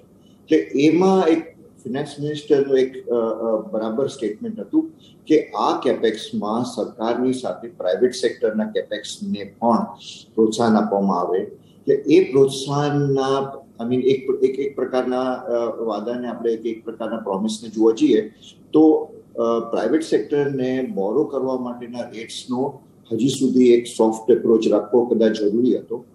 ક્યાંક જઈને છેલ્લા ત્રણ ચાર અઠવાડિયામાં ઇન્ફ્લેશન પણ છ ટકાના ધોરણથી ઉપર ન જવાને કારણે પણ આરબીઆઈ પાસે એક લેગરૂમ મળ્યો કે આ વખતે રેટ્સના સ્ટ્રક્ચરમાં કંઈ ચેન્જ ના કરે અને એક એક પ્રકારનો એકોમોડિટી સ્ટાન્સ જ ચાલુ રાખે. એટલે એમ એ દ્રષ્ટિએ આપણે એમ કહી શકીએ કે હજી એક વધારે અગિયારમી પોલિસી તમે કહી શકો સતત તમે છેલ્લી દસ પોલિસી પહેલા બે હજાર વીસમાં જ્યારે કોવિડની શરૂઆત થઈ, ત્યારથી લઈને અત્યાર સુધીમાં અગિયારમી પોલિસી દરમિયાનમાં એક સોફ્ટ રેટની એક કોમોડિટી સ્ટાન્સની જે એક એપ્રોચ છે આરબીઆઈનો એ ગ્રોથ માટે બિલકુલ યોગ્ય છે. લિક્વિડિટી મેનેજમેન્ટના મેજર્સો ઘણા છે અને ખરેખર આઈ મીન તમે જુઓ તો મેઇન જે રેટ અને રિવર્સ રેટના અને એના લગતા અનાઉન્સમેન્ટને તો એના લગતા નિર્ણયોની સાથે સાથે બાકીના જે બધા નવા અનાઉન્સમેન્ટ્સો જે ગવર્નર સાહેબે કર્યા, એ કદાચ વધારે મહત્વનું ધ્યાન ખેંચી લેવા માંગે છે. ક્રેડિટ ડેરિવેટિવ્સ અને ઇન્ટરેસ્ટ રેટ ડેરિવેટિવ્સને પ્રોત્સાહન મળવા માટે ઇન્ડિયન બેન્ક્સો ઓફશોર માર્કેટ્સમાં પાર્ટિસિપેટ કરે. એ પ્રકારનું એક નવું માળખું એટલે કે જેથી કરીને લિક્વિડિટી મેનેજમેન્ટની અંદર વધારે ને વધારે ઇન્સ્ટ્રુમેન્ટ્સો બેન્કિંગ સિસ્ટમ અને મોનેટરી સિસ્ટમ કામમાં લગાડી શકે. એક પ્રકારની એક એક એવી દિશા આપણને જોવા મળે છે. એટલે એ મારી હિસાબે ખરેખર એક એક એક અલગ પાસું છે. જુદી જુદી વિભિન્ન પ્રકારે માત્ર આરબીઆઈ જવાબદારી લીધા સિવાય બધા જ પાર્ટિસિપન્ટ્સોને એક સાથે મળીને આ મેનેજમેન્ટની અંદર જુદા જુદા ઇન્સ્ટ્રુમેન્ટ્સ દ્વારા કરવાનું એક પ્રયોજન છે. એટલે એક મારી દ્રષ્ટિએ ડિજિટલ પેમેન્ટની અંદર સિમ્પ્લિફિકેશન કરવા માટે ઈ રૂપી વાઉચર્સનું જે વ્યવસ્થા હતી જે એનપીસીઆઈ દસ હજાર રૂપિયા સુધીની મર્યાદા સુધી જે એલાઉડ કરતા હતા પર વાઉચર એને હવે એક લાખ કરવામાં આવ્યું છે અને સાથે સાથે જ્યાં સુધી એક વાઉચર પૂરેપૂરું પતે નહીં, ત્યાં સુધી બીજું વાઉચર પણ ઇસ્યુ કરી શકાય. એટલે સ્ટેટ ગવર્મેન્ટ્સને ખાસ કરીને સોશિયલ બેનિફિટ્સની અંદર ડાયરેક્ટ બેનિફિશિયરીને પૈસા પહોંચાડવાનો ડિજિટલ પૈસા પહોંચાડવાનો એક સારો પ્રબંધ કરવામાં આવ્યો છે. ટ્રેડ રિસીવેબલ્સમાં પણ એમએસએમઈ સેક્ટર માટે પણ ધ્યાન દેવામાં આવ્યું છે. એક કરોડની ટ્રાન્ઝેક્શન ટ્રેડ ટ્રાન્ઝેક્શન્સની મર્યાદા ત્રણ કરોડ સુધી કરવામાં આવી છે. એટલે આ સાઈડના જે બધા મેજર્સો છે એ મારી દ્રષ્ટિએ વધારે આપણે પાસે એક પ્રકારનું એનાલિસિસ માંગી લે છે. ડેફિનેટલી હું એટલું જ કહી શકું કે ઇન્ફ્લેશનને ધ્યાનમાં લઈને અને જીડીપી ગ્રોથને એક રિયલિસ્ટિક અનુમાન, સાત પોઈન્ટ આઠ ટકાનું આપીને લિક્વિડિટી મેનેજમેન્ટને પણ ધ્યાનમાં લઈને આ આ નિર્ણયો મારે હિસાબે અને જે સાઈડના અનાઉન્સમેન્ટો હતા એ એ બહુ મહત્વના છે ઓકે. ટ્રેકોમ સ્ટોક બ્રોકર્સના પાર્થિવ શાહ પણ આપણી સાથે છે. તે એક વખત માર્કેટનો પણ વ્યૂ લઈ લે, કારણ કે આ એનાઉન્સમેન્ટ બાદ માર્કેટની અંદર પણ આપણને એક સારો ઉછાળો આવતો દેખાઈ રહ્યો છે. પાર્થિવ આપ કેવી રીતના આ જોઈ રહ્યા છો પોલિસીના એનાઉન્સમેન્ટને બાદ આપણે ઓવરઓલ આખા માર્કેટની અંદર જે ઉછાળો જોઈ રહ્યા છે પર્ટિક્યુલરલી બેન્કિંગ કાઉન્ટર્સની અંદર, કેવી રીતે આપ આને રીડ કરો છો? ગુડ મોર્નિંગ વિક્રમ વિક્રમ મારું માનવું છે આ બહુ જ અકોમોડેટિવ પોલિસી છે which is a very very positive surprise for the market કારણ કે પ્રોપરલી માર્કેટ જે રીતે આપણે ગ્લોબલ સંકેતો હતા વેરીન આપણે યુરોપિયન સેન્ટ્રલ બેન્કની જે કોમેન્ટ્રી હતી યુએસ ફેડની જે કોમેન્ટ્રી છે, એ પ્રમાણસર inflation was a big worry આરબીઆઈને acknowledge કર્યું છે એનો કોઈ બેમત નથી, પણ ડેફિનેટલી એ લોકોએ ટ્રાન્ઝિટરી વર્ડ બી વાપર્યો છે. In the sense they are not expecting કે ઇન્ફ્લેશન બહુ સ્ટીકી રહે અને second હાફમાં there expecting inflationary pressures to reduce અને આ કોમેન્ટ્રી મારી દ્રષ્ટિથી માર્કેટ માટે બહુ ઇમ્પોર્ટન્ટ છે. અને I would say even for the banking sector on the whole Vikram, કારણ કે ઇવન બેન્કિંગ સેક્ટરમાં વન વોઝ અઝ્યુમિંગ કે જે રીતની યીલ્ડ્સ વધે છે અને આગળ જતા even if RBI were to rate hikes you know increase the rates by twenty five basis points તો બેન્કિંગ સેક્ટરમાં જનરલી આપણે જોઈએ છે કે જે કોસ્ટ ઓફ બોરિંગ છે જે કોસ્ટ ઓફ ફંડ્સ છે એ એક લેખથી વધતા હોય છે તો એ લોકોના સ્પ્રેડ્સ વધે અને એ લોકો જે લોન રેટ્સ છે એને ઇમિડિયેટલી એ લોકો એન્હાન્સ કરતા હોય છે તો આઈ બિલીવ કે બેન્કિંગ માટે બહુ સારું સેટઅપ છે he talked about capacity utilisation અને કેપેસિટી યુટિલાઇઝેશન જેમ જેમ વધે છે, તો પ્રાઇવેટ કેપેક્સ રિવાઇવ થવાના ચાન્સીસ ઓર સુધરે છે. અને પ્રાઇવેટ કેપેક્સ રિવાઇવ થાય છે, તો again we focusing on the bank credit જે અત્યાર સુધી ઘણી ટેપિડ રહેલી. સો ઓવરઓલ આઈ થિંક આ પ્રમાણનો અકોમોડેટિવ સ્ટાન્સ ઇઝ રેર અને ઇટ્સ વેરી ગુડ યસ કોઈ આર્ગ્યુ કરી શકે છે કે maybe RBI could be behind the curve પણ ટાઈમ વિલ સે અને એસ્પેશિયલી ઓઇલ પ્રાઇસીસ કઈ રીતે ટ્રેન્ડ કરે છે જોવામાં રહેશે. પણ ઇન્ડસ્ટ્રીયલ ડેટા જે એમને આપ્યો અને જે રીતનું બજેટ બાદ જે કેપેક્સ એક્સપેક્ટેડ છે we are expecting very good green shoots from the economy especially in terms of the PMI composite data going ahead okay તો આ પર્સપેક્ટિવ અત્યારે આપણને અહીંયા દેખાઈ રહ્યો છે અને આપણી સાથે અત્યારે હવે દેવાંગ પણ ફરી જોડાઈ ગયા છે. દેવાંગ એઝ એન્ટિસિપેટ અહીંયા જો આ સ્ટેન્સ રહેતું દેખાશે તો આપણને એક ઇમ્પેક્ટ જે છે તે બોન્ડ ડિલીટના ફ્રન્ટ ઉપર નેગેટિવ સાઇડ ઉપરની આવતી દેખાશે. અને ઇનિશિયલી તમે જુઓ તો આપણને ઇમ્પેક્ટ જ્યારે આ પોલિસી સ્ટેટમેન્ટ આવી રહ્યા હતા ત્યારે જ આવતી જોવા મળી હતી. હવે આપનું ધ્યાન અહીંયા શું બની રહ્યું છે? આ એક ટ્રાન્ઝિસ્ટરી ઇમ્પેક્ટ તરીકે જ જોશો આપ.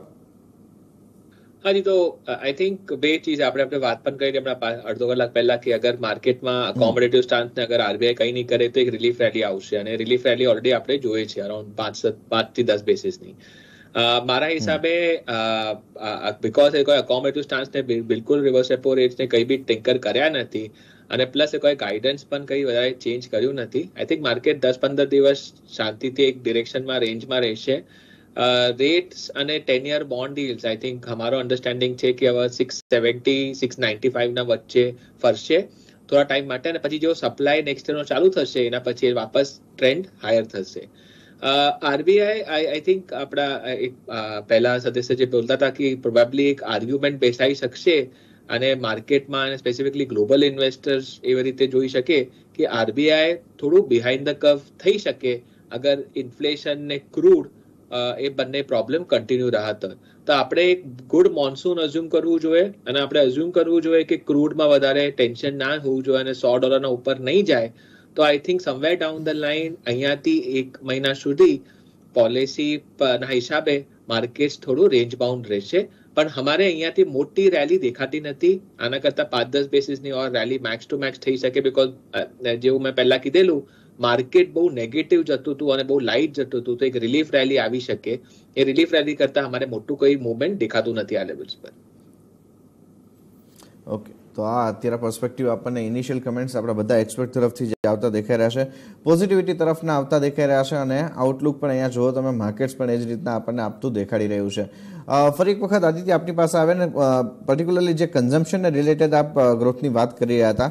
અને એ ફ્રન્ટ ઉપર આપણે જોઈએ તો આ વખતે હજુ પણ એમએસએમઈ સેગમેન્ટની અંદરના જે લિક્વિડિટીના ફ્રન્ટ છે, એને યથાર્થ રાખવા માટેની ગવર્નર સાહેબે વાત કરી છે. તો આ પર્સ્પેક્ટિવને આપ કેટલું પોઝિટિવ જોઈ રહ્યા છો? ઓવરઓલ આપણા જે મેન્યુફેક્ચરિંગ અને જે સ્મોલ મિડ સાઇઝના ઇન્ડસ્ટ્રીઝ છે, એના ઉપર કેવી રીતના ઇમ્પેક્ટ આવતી દેખાશે? સી બેઝિકલી જે આપણા એસએમઈ છે, આપણે સ્મોલ મીડિયમ એન્ટરપ્રાઇઝ છે, જે આપણી ઇકોનોમીમાં ચાલીસ ટકા જેટલું એક્સપોર્ટ્સમાં કોન્ટ્રીબ્યુટ કરે છે, પિસ્તાળીસ ટકા જેટલું ઓવરઓલ પ્રોડક્શનમાં કોન્ટ્રીબ્યુટ કરે છે, એમને આ લિક્વિડિટી સપોર્ટથી ઘણી મદદ મળશે. સી જે નાના ઉદ્યોગો છે ને, એ લોકોને મેઇન પ્રોબ્લેમ વર્કિંગ કેપિટલનો આવતો હોય છે અને બેઝિકલી જ્યારે એ લોકો આપણે શું કહેવાય ક્રેડિટ સાયકલ આમાં આપણે કોવિડના લીધે જાણીએ છીએ કે ભાઈ સપ્લાય સાઇડ ટોટલી ડિસ્ટર્બ થયેલું લેબર પ્રોબ્લેમ્સ હતા માઇગ્રન્ટ લેબર્સ જતા રહેલા અને પ્લસ એમાં વર્કિંગ કેપિટલ પ્રોબ્લેમ તો આ જે ગવર્નર સાહેબે સપોર્ટ આપેલો છે આરબીઆઈ પોલિસીમાં કે કન્ટિન્યુઅસ લિક્વિડિટી સપોર્ટ રહેશે એઝ એન વન જે રીતના નિર્ણય લેવાશે જેનાથી લિક્વિડિટી એકદમ ખેંચાતી નથી. સો એ આપણે નાની કંપનીઝ આપણે ખાસ કરીને સ્મોલ મીડિયમ એન્ટરપ્રાઇઝ સેગમેન્ટ માટે ખૂબ જ ઉપયોગી રહેશે. ઇનફેક્ટ તમે જોશો ને, તો નાના બિઝનેસીસને મેઇન પ્રોબ્લેમ છે ને લિક્વિડિટીનો હોય છે વર્કિંગ કેપિટલનો હોય છે. અને અહીંયા જો બેઝિકલી આરબીઆઈ પોલિસીમાં જો આવો સપોર્ટ મળતો હોય અને બેંક્સ પણ આ સપોર્ટ પ્રોપરલી એક્સટેન્ડ કરે આપણે નાના ઉદ્યોગોને, તો એનાથી ગ્રાસરૂટ લેવલ પર જોબ્સ ક્રિએટ થશે. અને ઓવરઓલ તમે જોશો ને, તો આનાથી જીડીપીને સસ્ટેન કરવામાં પણ આપણને ઘણી મદદ મળશે. સી આજે પણ આપણે જોઈએ તો ઇન્ડિયા બેઝિકલી રૂરલ ઇકોનોમી એનું એક કન્ટ્રી છે. આપણા ત્યાં છ લાખ ગામડાઓ છે. નાના લઘુ ઉદ્યોગો ઘણા બધા છે. એટલે એમાં પ્રાઇમરીલી જે આપણે સપોર્ટ પ્રોવાઈડ કરવાનો છે ને ગ્રાસરૂટ લેવલ પર એમાં હું માનું છું કે આરબીઆઈ ની આ પોલિસી ખરેખર કામગત રહેશે. અને આગળ જતા આપણા જે મેઇન મેક્રો ઇકોનોમિક વેરિયેબલ્સ છે એ લોકો એ ઇકોનોમિક વેરિયેબલ્સ ને સ્ટ્રોંગ રાખવામાં પણ ઘણી મદદ મળશે. તો આ પર્સપેક્ટિવ અત્યારે આપણને બનતો દેખાઈ રહ્યો છે. તો અશ્વિનજી આપણી સાથે જોડાયેલા છે પણ આ સાથે જ આદિત્યજી અને સાથે જ પાર્થિવ અને કામાખોડી સર આપ સૌનો ઘણો આભાર અમારી સાથે જોડાવા માટે આ સમગ્ર ચર્ચા કરવા માટે એક બ્રેક માટે રોકાઈએ બ્રેક બાદ અશ્વિનજી સાથે ચર્ચા આગળ વધારીશું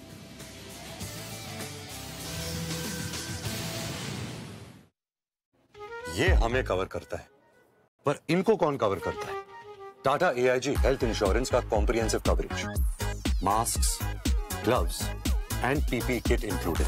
Tata AIG Health Insurance. Trusted now, fantastic car. CNBC TV 18 presents Invest Wise, Learn, Earn and Grow. Powered by Malkan's View.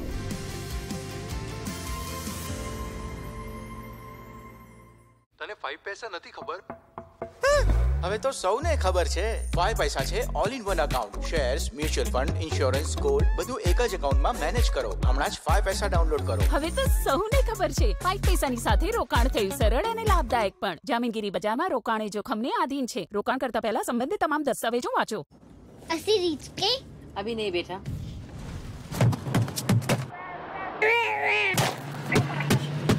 અસી રીચ કે? अस्सी रीच के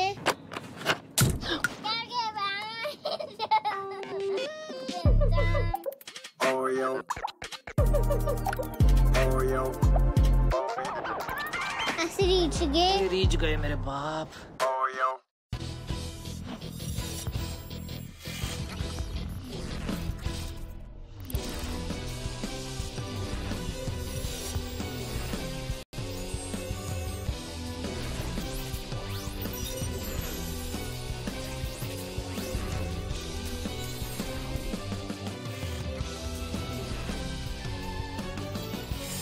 CNBC Bajar Ebix Studio.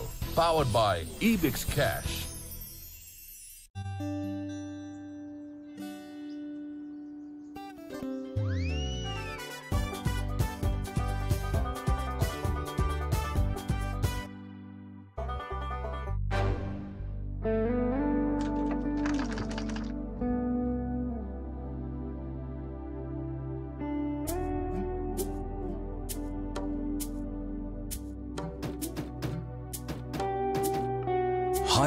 Higher का आश्वासन देने वाले विज्ञापनों या प्रचार करने वालों से बचें। एनएससी एक कदम सही, सौ गुना सुरक्षा। पेश है अमूल हैप्पी ट्रीट्स के potato snacks with farm fresh ingredients तो ऐसे वैसे स्नैक्स नहीं serious snacks Amul happy treats ही खाओ India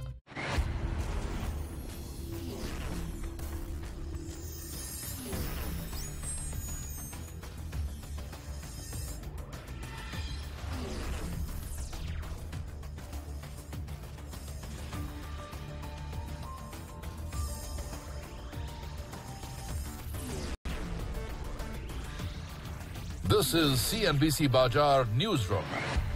Powered by Ebix Cash. તને શું ફાઈવ પૈસા ખબર નથી? ઓય હવે તો સૌને ખબર છે. ફાઈવ પૈસા પર મળે છે રિસર્ચ ટૂલ્સ પોર્ટફોલિયો એનાલિટિક્સ અને ઇન્વેસ્ટમેન્ટ આઈડિયાઝ પણ. અત્યારે જ ડાઉનલોડ કરો ફાઈવ પૈસા. હવે તો સૌને ખબર છે પાંચ પૈસાની સાથે રોકાણ થયું સરળ અને લાભદાયક પણ. જામીનગીરી બજારમાં રોકાણ એ જોખમને આધીન છે. રોકાણ કરતા પહેલા સંબંધિત તમામ દસ્તાવેજો વાંચો. This is Network 18. And you are watching CNBC Bajar. Powered by Ebix Cash. Ebix Cash. हर खुशी के लिए काफी है न प्रायोजक छे आई IIFL Finance. CD फाइनेंस बात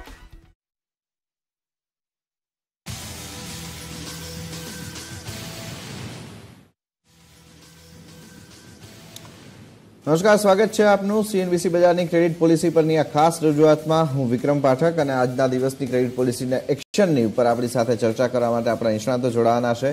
અત્યારે સૌપ્રથમ આપણી સાથે જોડાઈ ગયા છે અશ્વિન પારેખ એડવાઇઝરી સર્વિસીસના મેનેજિંગ પાર્ટનર અશ્વિન પારેખ. અશ્વિનજી ગુડ મોર્નિંગ એક પર્સપેક્ટિવ આ વખતની આરબીઆઈ પોલિસી પાસે હતો કે કદાચ આપણે ફેડ તરફથી અને બીજા અન્ય વિદેશી સેન્ટ્રલ બેંક્સ તરફથી જે પ્રકારના સ્ટેપ્સ લેવામાં આવ્યા છે, એવા કોઈ સ્ટેપ આવતા દેખાશે જેમાં જે સ્ટેન્સ છે બદલાતું દેખાશે કે પછી લિક્વિડિટી ઓછી કરવામાં આવશે?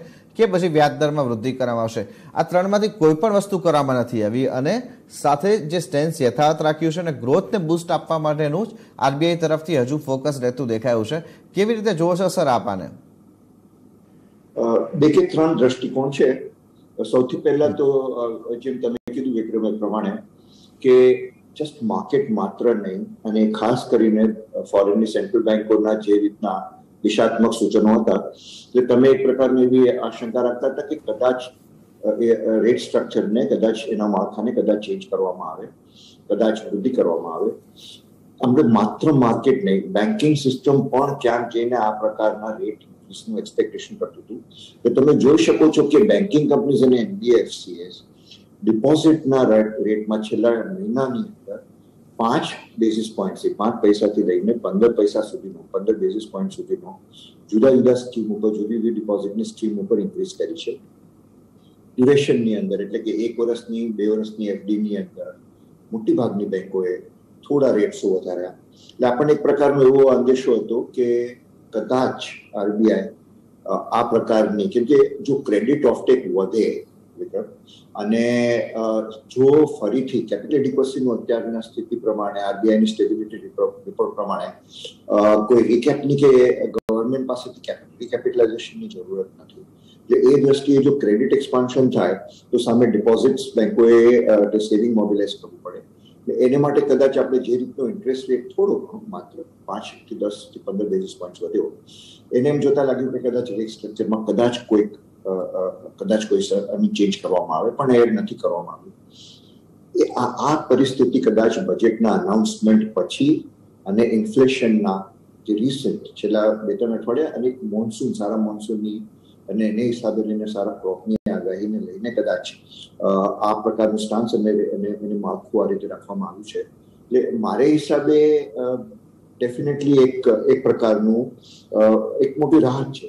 ખરેખર બધી રીતે સિસ્ટમમાં ઇકોનોમીમાં એક પ્રકારની રાહત થઈ છે કે થોડા વખત સુધી ઇન્ટરેસ્ટ રેટ્સ નથી વધવાના બીજી વસ્તુ તમે એક નોંધ લેશો વિક્રમ કે આ વખતે કોઈ એનબીએફસી ના ફંડિંગ માટેની કોઈ ખાસ સૂચના કે કોઈ ખાસ મેજર્સ નથી કરવામાં આવ્યા ધીરે ધીરે કરતા એનબીએફસી નું કોસ્ટ ઓફ બોરિંગ વધતું જાય છે અને એ સેક્ટર તરફથી એનબીએફસી સેક્ટર તરફથી એક પ્રકારની એવી આશા હતી કે કદાચ કંઈક બેન્કિંગ સિસ્ટમ પાસેથી એના ઓફટેક માટેની કોઈક રાહતો રેટની અંદર કદાચ કે કોઈ પ્રકારની સ્કીમો જાહેર થાય. પણ એ થયું નથી. એટલે મોટે ભાગે ડિપોઝિટ ટેકિંગ એનબીએફસી અને મોટી એનબીએફસીઓ કદાચ આ સ્થિતિને એટલે કે ઇન્ક્રીઝ કોસ્ટ ઓફ બોરિંગને કદાચ પચાવી શકે. પણ નાની એમબીએફસીઓ અને મીડિયમ સાઇઝ એનબીએફસીઓને આમાં આ વખતે ઘણી જ મુસીબત આવવાની છે. માઇક્રો ફાઇનાન્સ સંસ્થાઓને તો ડેફિનેટલી કોસ્ટ ઓફ બોરિંગ સખત વધી રહ્યું છે. એટલે એ લોકોને પણ આગળ જતા આ બે મુદ્દાઓ કદાચ આરબીઆઈ માટે મહત્વના એટલા માટે બની રહે કે લાસ્ટ માઇલની જે ક્રેડિટ છે જે નાના એકદમ નાના બોરોવર્સો ટાઈની બોરોવર્સો માટેની જે ક્રેડિટની વ્યવસ્થા છે એમાં કોસ્ટ ઓફ બોરિંગ વિશે કશીક અનાઉન્સમેન્ટનો આશા રાખતો તો પણ એ આવ્યું નથી. અને ખાલી છેલ્લું કે કોવિડ રિલેટેડ જે બે પ્રોગ્રામ્સો હતા એના બંનેમાં માર્ચ ની જગ્યાએ જૂન ટ્વેન્ટી સેકન્ડ સુધીનો એક્સટેન્શન છ મહિનાનું આપવામાં આવ્યું છે. જે મારી દ્રષ્ટિએ સારી રાહત છે. ખાસ કરીને નાના અને મિડ સાઇઝના બોરોવર માટે તો ખરેખર સારી રાહત છે સાથે જ ઇવા ઇન્ડિયાના ફાઇનાન્શિયલ સર્વિસીસના head વિઝલ Diwanji, Kotak Mahindra એમસીના president and chief investment officer Lakshmi Iyer પણ આપણી સાથે જોડાઈ ગયા છે અને બાયોન કેપિટલના વિરલ બેરાવાલા પણ જોડાઈ ગયા છે. તો પહેલાં એક વખત અભિષેકજી, આપની પાસેથી એક પર્સપેક્ટિવ સમજવા માગીશું. કન્ઝમ્પશન લેડ ગ્રોથ માટે આ પોલિસી જે છે તે વધુ આપણને એક સમય આપી રહી છે કે જ્યાં જેમને પણ હજુ આ લોઅર ઇન્ટરેસ્ટ રેટ રિઝ્યુમની અંદર ગ્રોથ કરવો છે, તેમના માટે prospect RBI governor as well as સરકાર તરફથી પોઝિટિવ દેખાઈ રહ્યા છે. હા ઇન ધ શોર્ટ રન તો એવું લાગે છે કે ગવર્મેન્ટે એમ એમ નિર્ણય લીધો છે કે કન્ઝમ્પશન લેટ ગ્રોથ કન્ટિન્યુ કરવું જોઈએ. અને એટલે તમે જો રેપો રેટ અને આરબીઆઈના કોઈ રેટ્સ ચેન્જ કર્યા નથી પણ ઇન્ટરેસ્ટિંગ વાત એ છે કે તમે લિંક કરો બજેટ સાથે. ત્યાં ગવર્મેન્ટનો એક એટલો એમ્બિશિયસ બોરોઈંગ પ્રોગ્રામ છે. At the second level infra ફંડના ઉપર ઇન્ફ્રા સ્પેન્ડિંગના ઉપર એટલો મોટો પુશ છે. સાડા સાત લાખ કરોડ રૂપિયા. એટ ધ સેમ ટાઈમ આપણે ઇન્ટરેસ્ટ રેટ્સ લો રાખીએ છીએ ફ્રોમ અ કન્ઝમ્પશન પર્સપેક્ટિવ તો માર્કેટ થોડી કન્ફ્યુઝ તો થશે જ કે અગર એટલી બધી લિક્વિડિટી સકઅપ છે માર્કેટમાં એટલો બધો ડિમાન્ડ છે ગવર્મેન્ટનો બોરોઈંગ પ્રોગ્રામનો અને એના સાથે જો ઇન્ટરેસ્ટ રેટ તમે સ્ટેબલ રાખશો તો how will the market react એ જોવા જોવાની વાત છે. તો કન્ઝમ્પશન લેટ ગ્રોથને લઈને આપણે એક ઇન્ટરેસ્ટ રેટ કમ રાખ્યો છે એ સારી વાત છે. પણ બાકીના બધા ડાયનામિક્સ જોઈને કેટલો વખત સુધી માર્કેટના ઇન્ટરેસ્ટ રેટ્સ લોઅર રહેશે અને whether monetary monetary policy effectively એને કંટ્રોલ કરી શકશે કે નહીં એ વાત જોવાની છે ગોઈંગ ફોરવર્ડ એ કેમ થશે? લક્ષ્મીજી, આપનો પણ આના ઉપર એક પર્સપેક્ટિવ સમજવા માંગીશું કે જે બોન્ડ માર્કેટ છે, જે ગવર્મેન્ટ સિક્યુરિટીઝનું આખું આ જે સેગમેન્ટ છે, એ આના ઉપર કેવી રીતના રિએક્ટ કરતું દેખાશે? કારણ કે ઇનિશિયલ રિએક્શન આપણે જોઈએ તો બોન્ડ માર્કેટ તરફથી આપણને નેગેટિવ આવતું દેખાયું છે. જે અભિજળજીએ વાત કરી, એ વસ્તુ અહીંયા પરફેક્ટલી એક સેટ થતી દેખાશે કે ડેટ માર્કેટનું રિએક્શન છે, એ આના ઉપર ખાસ હવે આપણને ડિરેક્શન જે છે ઓવરઓલ એસેટ ક્લાસનું એ આપણને ડિસાઇડ કરતું દેખાશે. ટ્રુ વિક્રમ આજની પોલિસીમાં રેટમાં કાંઈ ફેરફાર નથી કર્યું. એના પ્રમાણે બોન્ડ માર્કેટમાં જે જે ખાસું દબાણ હતું બોન્ડ yieldsમાં એ તો એક વાર માટે ઓબ્વિયસલી રૂકી જશે number one number two is આખું જે પણ લિક્વિડિટીનું હોય અથવા ઇન્ફ્લેશનમાં હોય ફોરકાસ્ટમાં હોય કે પેલું રેટ્સમાં હોય બધા તરફથી એક three sixty degree rounded dovishness આ પોલિસીમાં આજે જોવા મળ્યું છે. તો અમને લાગે છે કે આ તમે સુપર ઇમ્પોઝ કરશો કે આવતાકાલે એટલે કાલની જે ઓપ્શન છે, એ પણ આરબીઆઈ કેન્સલ કરી દીધું છે અને આ આખું મહિનામાં એટલે ફિનાન્શિયલ યરમાં લગભગ ફોર્ટી સેવન થાઉઝન્ડ ક્રોડ્સની એડિશનલ સપ્લાય છે. તો અમને લાગે છે કે આ પોલિસી એક કેટલિસ્ટ થઈ જશે કે આ બોન્ડ yields આ લેવલમાં થોડું એન્કર થઈ જાય ઓફકોર્સ તેલની દામ બધું જોઈને અને ગ્લોબલ મેક્રો ઇવેન્ટ જોઈને પણ ઇલ્સમાં મુવમેન્ટ થઈ શકીએ છે પણ મેસિવ દબાણ હતું બોન્ડ અને જે સેન્ટિમેન્ટ જે ખોટું થઈ ગયું હતું આજે મારા હિસાબે થોડું રિવર્સ થઈ ગયું છે અને નિયર ટર્મ માટે આ બોન્ડ yields માટે સારી છે રાઈટ સાથે જ વિરલ, હવે આ ચર્ચાની સાથે એક માર્કેટનો પણ પર્સપેક્ટિવ જોઈએ, કારણ કે માર્કેટ અહીંયા બહુ મોટા પાયે એવું એન્ટિસિપેટ કરીને બેઠું હતું કે એટલીસ્ટ રિવર્સ રેપો રેટમાં બદલાવ આવતો દેખાશે, અથવા તો ગવર્નર સાહેબ ક્યારથી વ્યાજદરમાં વૃદ્ધિ કરવા માટેનું આયોજન કરી રહ્યા છે, એના માટેની વિગતો આવશે. પણ બિલકુલ એક મોટી પોઝિટિવ સરપ્રાઇઝ માર્કેટને મળી છે. તમે આ સિચ્યુએશનને કઈ રીતના જોવો છો અને પર્ટિક્યુલરલી જે બેન્કિંગ અને કન્ઝમ્પશન રિલેટેડ સેક્ટર્સ છે સ્ટોક્સ છે, એના ઉપર કેવું રિએક્શન આનું આપણે બનતા જોઈશું?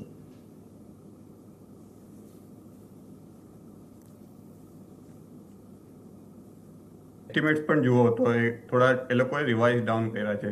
તો એફવાય ટ્વેન્ટી થ્રીનું જે સીપીઆઈ ઇન્ફ્લેશનનું, એ લોકોનું જે એસ્ટિમેટ છે, જે સાડા ચાર ટકા છે, એ પહેલાં કરતાં થોડું રિવાઇઝ ડાઉન થયું છે.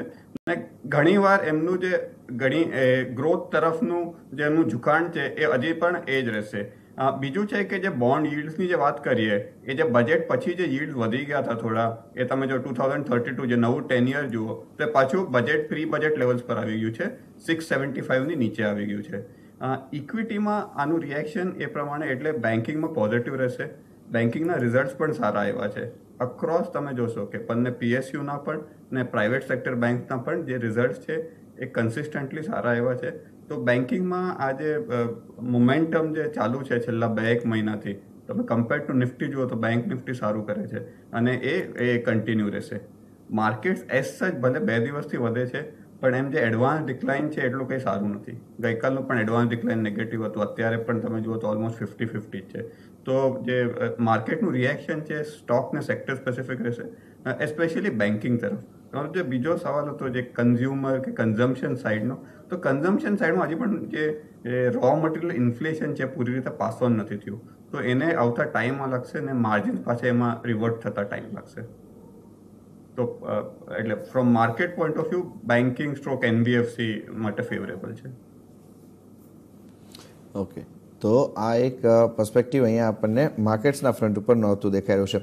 સાથે જ જે ગ્રોથના ફ્રન્ટ ઉપરની વાત થઈ છે, એના ઉપર અભિસરજી આપનો એક પર્સપેક્ટિવ એ સમજવા માંગીશું કે ઇન્ફ્લેશનના એક આઉટલુક જે આપ્યો છે એની સાથે સાથે જે આખા વર્ષ માટેના ગ્રોથ આઉટલુકને તે સાત ટકાની ઉપર જે આપણે આવતા જોઈ રહ્યા છે. હવે આ પર્સપેક્ટિવની અંદર આપણે એક કન્સર્ન્સ જે આપણને જે બનતો દેખાઈ રહ્યો છે, એ એ જ બને છે કે જે આપણા કન્ઝમ્પશનને જો આપણે અહીંયા ક્યાંય ઇફેક્ટ થતું દેખાય છે, કારણ કે ઓલમોસ્ટ આપણે જોઈએ તો એક સિનારીઓ એ છે કે અત્યારે આપણે ક્રૂડ પ્રાઇસીસ વધ્યા છે. એની સામે આપણે કોઈપણ પ્રકારના હાઇક હજુ આપણને ફ્યુલ પ્રાઇસીસની અંદર આવતા નથી દેખાયા. ઇન ધ ટર્મ્સ કે જ્યારે આ પ્રકારનો હાઇક આવતો દેખાશે ત્યારે આપણને ફ્યુલને લેડ ઇન્ફ્લેશન ફ્રન્ટ ઉપરનું પ્રેશર વધતું દેખાશે. અને એ જે આખું ઇન્ફ્લેશન વધતું દેખાશે એ ક્યાંક ને ક્યાંક આપણા ગ્રોથ પાથને થોડુંક ઇફેક્ટ કરતું દેખાશે. તો સર આ ફ્રન્ટ ઉપર આપ કેવી રીતના એડવાઇસ કરશો? કેવી રીતનો આપણે અહીંયા સિનારીઓ આપણે એન્ટિસિપેટ કરવો જોઈએ? સાહેબ સાહેબ મારા હિસાબે તો ઇન્ફ્લેશન ઇમ્પેક્ટ કરશે જ. અને જે આરબીઆઈની પોલિસીસ છે કે ભાઈ inflation targeting has been there stands for a long time A stands ને actually I think that is a just a wait and watch for one quarter મને એવું લાગે છે મોનિટરી પોલિસીમાં મોનિટરી પોલિસી આનાથી કોઈ ડિરેક્શન દેખાડતું એવું છે નહીં કે આખી દુનિયામાં જો ઇન્ટરેસ્ટ રેટ વધવાની છે તે કેમ વધે છે ગ્લોબલ ઇમ્પેક્ટ આપણે ફ્યુઅલ પ્રાઇસીસ પર કેમ આવે છે ઇન્ફ્લેશન પર કેમ આવે છે એના હિસાબે આપણે આપણું કન્ઝમ્પશન મોનિટર કરશો I think we have given it one quarter કે જોઈએ કે ભાઈ કન્ઝ્યુમર લેડ ગ્રોથ થાય છે કે નથી થતું. અગર consumer led growth result in high inflation તો મારા હિસાબે we will also have rate correction next quarter તો આપણે ખાલી એક ક્વાર્ટર માટે વાર જોઈને જોવે છે. ઇન્સ્ટેડ કે ભાઈ આમનાથી જ કોઈ પોલિસી રિએક્શન લાવીએ, એના કરતાં પોલિસી રિએક્શન આપણે કીધું કે લેટ ઇઝ રિમેન સ્ટેબલ એક ક્વાર્ટર જુઓ, આખી દુનિયામાં શું થાય છે તે જુઓ. તેલના ભાવ કેમ વધે છે તેમ જુઓ. ઇન્ડિયામાં ઇન્ફ્લેશન એસેટ બબલ કેમ આવે છે તેમ જુઓ. અને તે હિસાબે ડિસાઇડ કરો. હવે જેમ હમણાં આપણા આગલા બી સ્પીકરે પણ કહ્યું કે ભાઈ એડવાન્સીસ ડિક્લાઇન રેશિયો તો નેગેટિવ છે, એટલે સ્ટોક્સમાં તો ઓલરેડી થોડો ઘણો ઇમ્પેક્ટ આવી જ રહ્યો છે. અને જે પહેલાં જે runway rise in stock prices હતું બિકોઝ ઓફ ઇઝી લિક્વિડિટી એ તો ઓલરેડી કોશિયસ થઈ ગયું છે માર્કેટ તો આપણે એવું લાગે છે કે માર્કેટ ઇટ સેલ્ફ એટલું કોન્ફિડન્ટ છે જ નથી કે just by consumer led growth will come because of lower interest rates but આરબીઆઈને એમ કરવું છે કે ભાઈ ઇન્ટરેસ્ટ રેટ હમણાં વધાવો અને કન્ઝમ્પશન કોન્ટ્રાક્ટ થાય ઇકોનોમી કોન્ટ્રાક્ટ થાય, એના કરતાં બેટર છે કે ઇકોનોમીનો એક પોઝિટિવ વ્યૂ આપીએ. એક ક્વાર્ટર જોઈ લઈએ કે કન્ઝમ્પશન કેમ જાય છે. એસેટ પ્રાઇસીસ કેમ જાય છે તેમ જોઈ લઈએ અને તે પછી કોઈ પણ પોલિસી ડિસિઝન લઈએ. એવું મને લાગે છે. એક બ્રેક માટે આપણે રોકાઈએ. ત્યારબાદ આ જે લિક્વિડિટીના ફ્રન્ટ ઉપરનો ડિસ્કશન છે, એ આપણે આગળ વધારીએ. આપણા બધા એક્સપર્ટ્સ આપણી સાથે જોડાયેલા છે અને સમજાવશે કે અહીંયાથી આઉટલુક આગળનો કેવી રીતનો બનતો દેખાશે.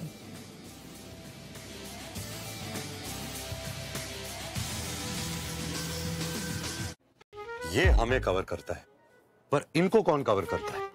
Tata A I G health insurance का comprehensive coverage mask gloves and PP kit included Tata A I G health insurance trusted नाम फैंटास्टिक काम।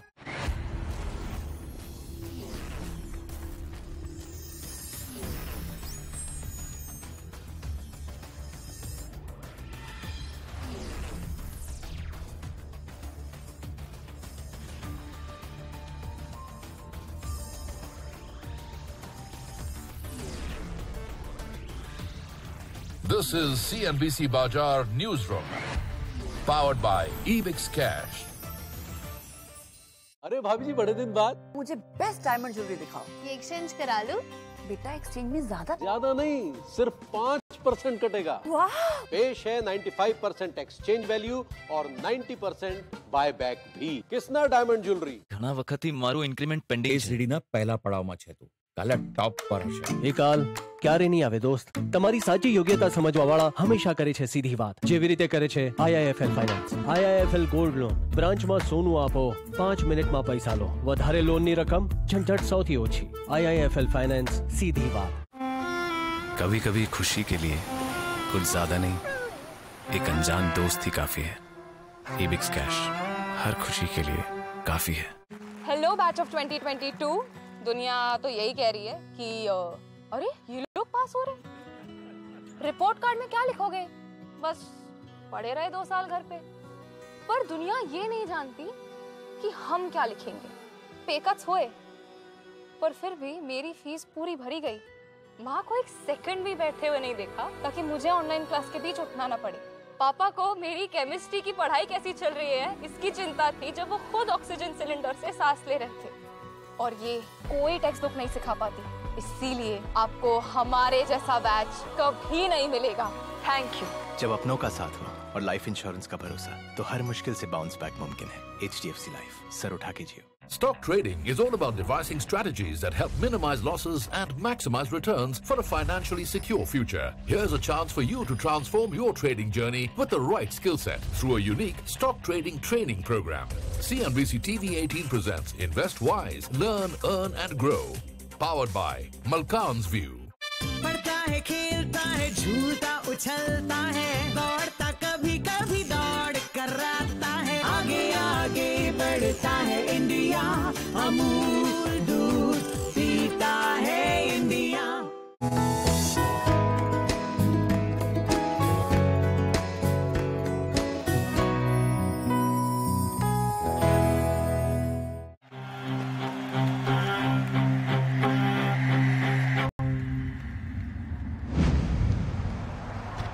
कभी कभी खुशी के लिए एक उदाहरण ही काफ़ी है। ईबिक्स कैश हर खुशी के लिए काफ़ी है। अरे यार। ईटीएफ कैश था। एटीएफ एक्सचेंज ट्रेडेड फंड्स मतलब? ये स्टॉक मार्केट के इंडेक्सेस को ट्रैक करते हैं। वही स्टॉक्स और उनके जैसे रिटर्न्स स्टॉक्स में इन्वेस्ट करना एकदम ईटीएफ है। मतलब इजी है। आज ही ईटीएफ्स में इन्वेस्ट करें। Mutual fund investments are subject to market risk read all scheme related documents carefully This is Network 18. And you are watching CNBC Bajar. Powered by Ebix Cash. Ebix Cash हर खुशी के लिए काफी है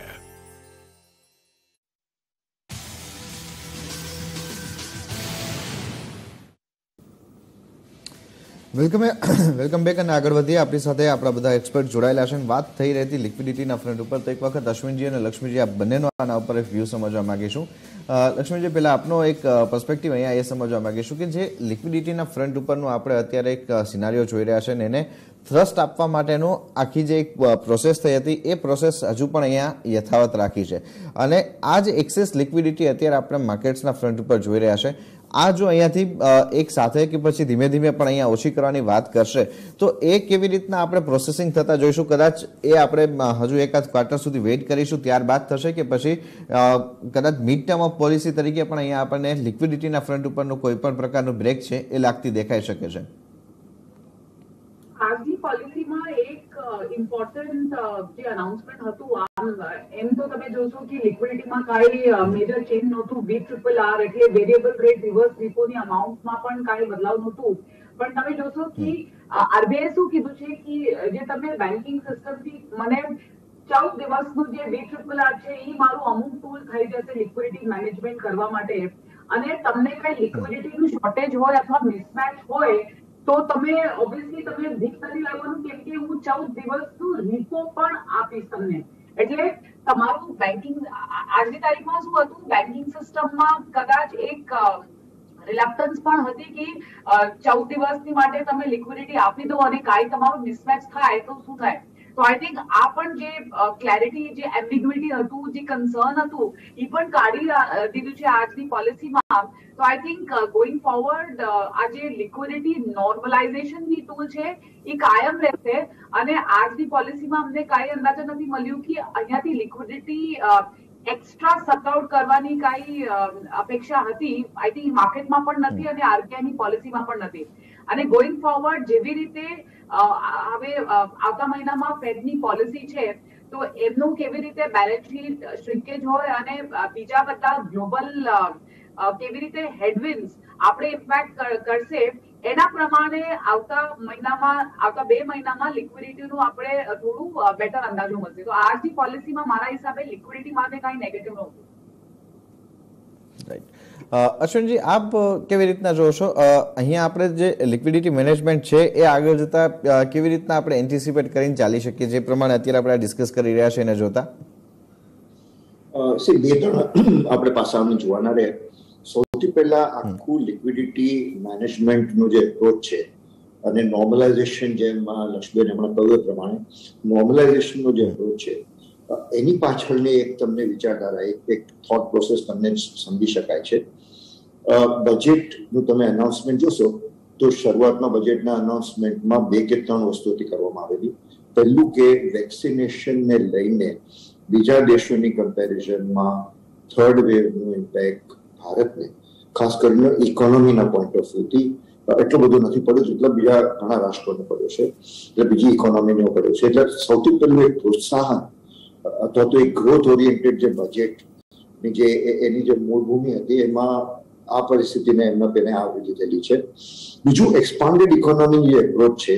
expanded ઇકોનોમીની એપ્રોચને પ્રોત્સાહન આપવા માટે ટેક્સ કલેક્શન છે.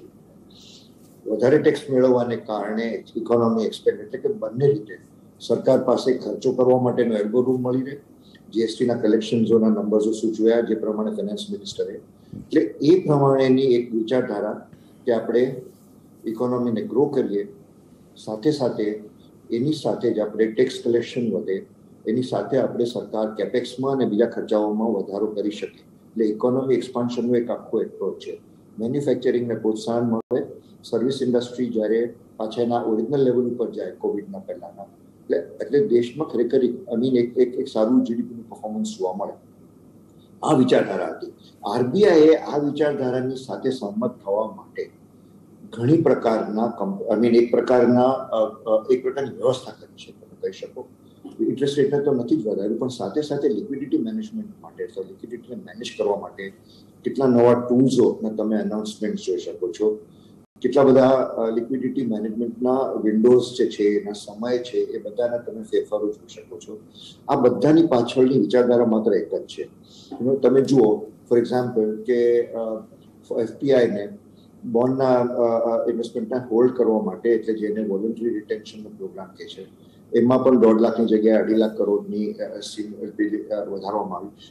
કંઈક કરીને જુદી જુદી ફેક્ટર્સથી લિક્વિડિટીને મેનેજ કરી શકાય ઇકોનોમીમાં કે જેથી કરીને ગ્રોથના ટાર્ગેટને ને અને બજેટના ટાર્ગેટને કદાચ ડિસ્ટર્બ ન કરી શકાય. એક પ્રકારની એક એક કોઓપરેટિવ હતો. તે કોમ્પ્લિમેન્ટરી મોનેટરી પોલિસી આપણે કહી શકીએ. એક ક્વાર્ટર સુધી, ખાસ કરીને ઇન્ફ્લેશન રેટના અત્યારના જે આંકડાઓ છે એ પ્રમાણે. આપણે જાણીએ છીએ કે ઓઇલ છે, આપણે જાણીએ છીએ કે તે સિવાયના બીજા પરિબળો, ફૂડના છે કે બીજા પરિબળો કદાચ ઇન્ફ્લેશનના રેટમાં વધારો કરે. પણ અત્યારના જે રીતે પરિસ્થિતિ લાગે છે અને જે રીતે ટાર્ગેટ કર્યું છે ઇન્ફ્લેશન આરબીઆઈની પોલિસીમાં મોનેટરી પોલિસીમાં એ જોતા લાગે છે કે એકવીસ આરબીઆઈ હમણાં પૂરતું કમ્ફર્ટેબલ છે. અથવા મોનેટરી પોલિસી હમણાં પૂરતું કમ્ફર્ટેબલ છે કે હમણાં ખાસ કોઈ એવા મેજર્સ લેવાની જરૂર નથી. લિક્વિડિટી નોર્મલાઇઝેશનના ઘણા મેજર્સો કર્યા છે. કદાચ બે કે ત્રણ મહિના પછી પરિસ્થિતિ શું થાય? ટેક્સ કલેક્શન છે, નવા આઈપીઓસ છે, એ પછીની લિક્વિડિટીની શું પરિસ્થિતિ થાય છે એ પ્રમાણે કદાચ કેમ કે હવે છેલ્લો હપ્તો માર્ચનો આવશે ત્યારે લિક્વિડિટી થોડી સખ્ત થશે સિસ્ટમમાંથી તે વખતે આરબીઆઈ એકદમ જ એની પર ધ્યાન આપશે. કદાચ એક ક્વાર્ટર સુધી આમને આમ જળવાઈ રહે અને લિક્વિડિટી મેનેજ કરી શકે.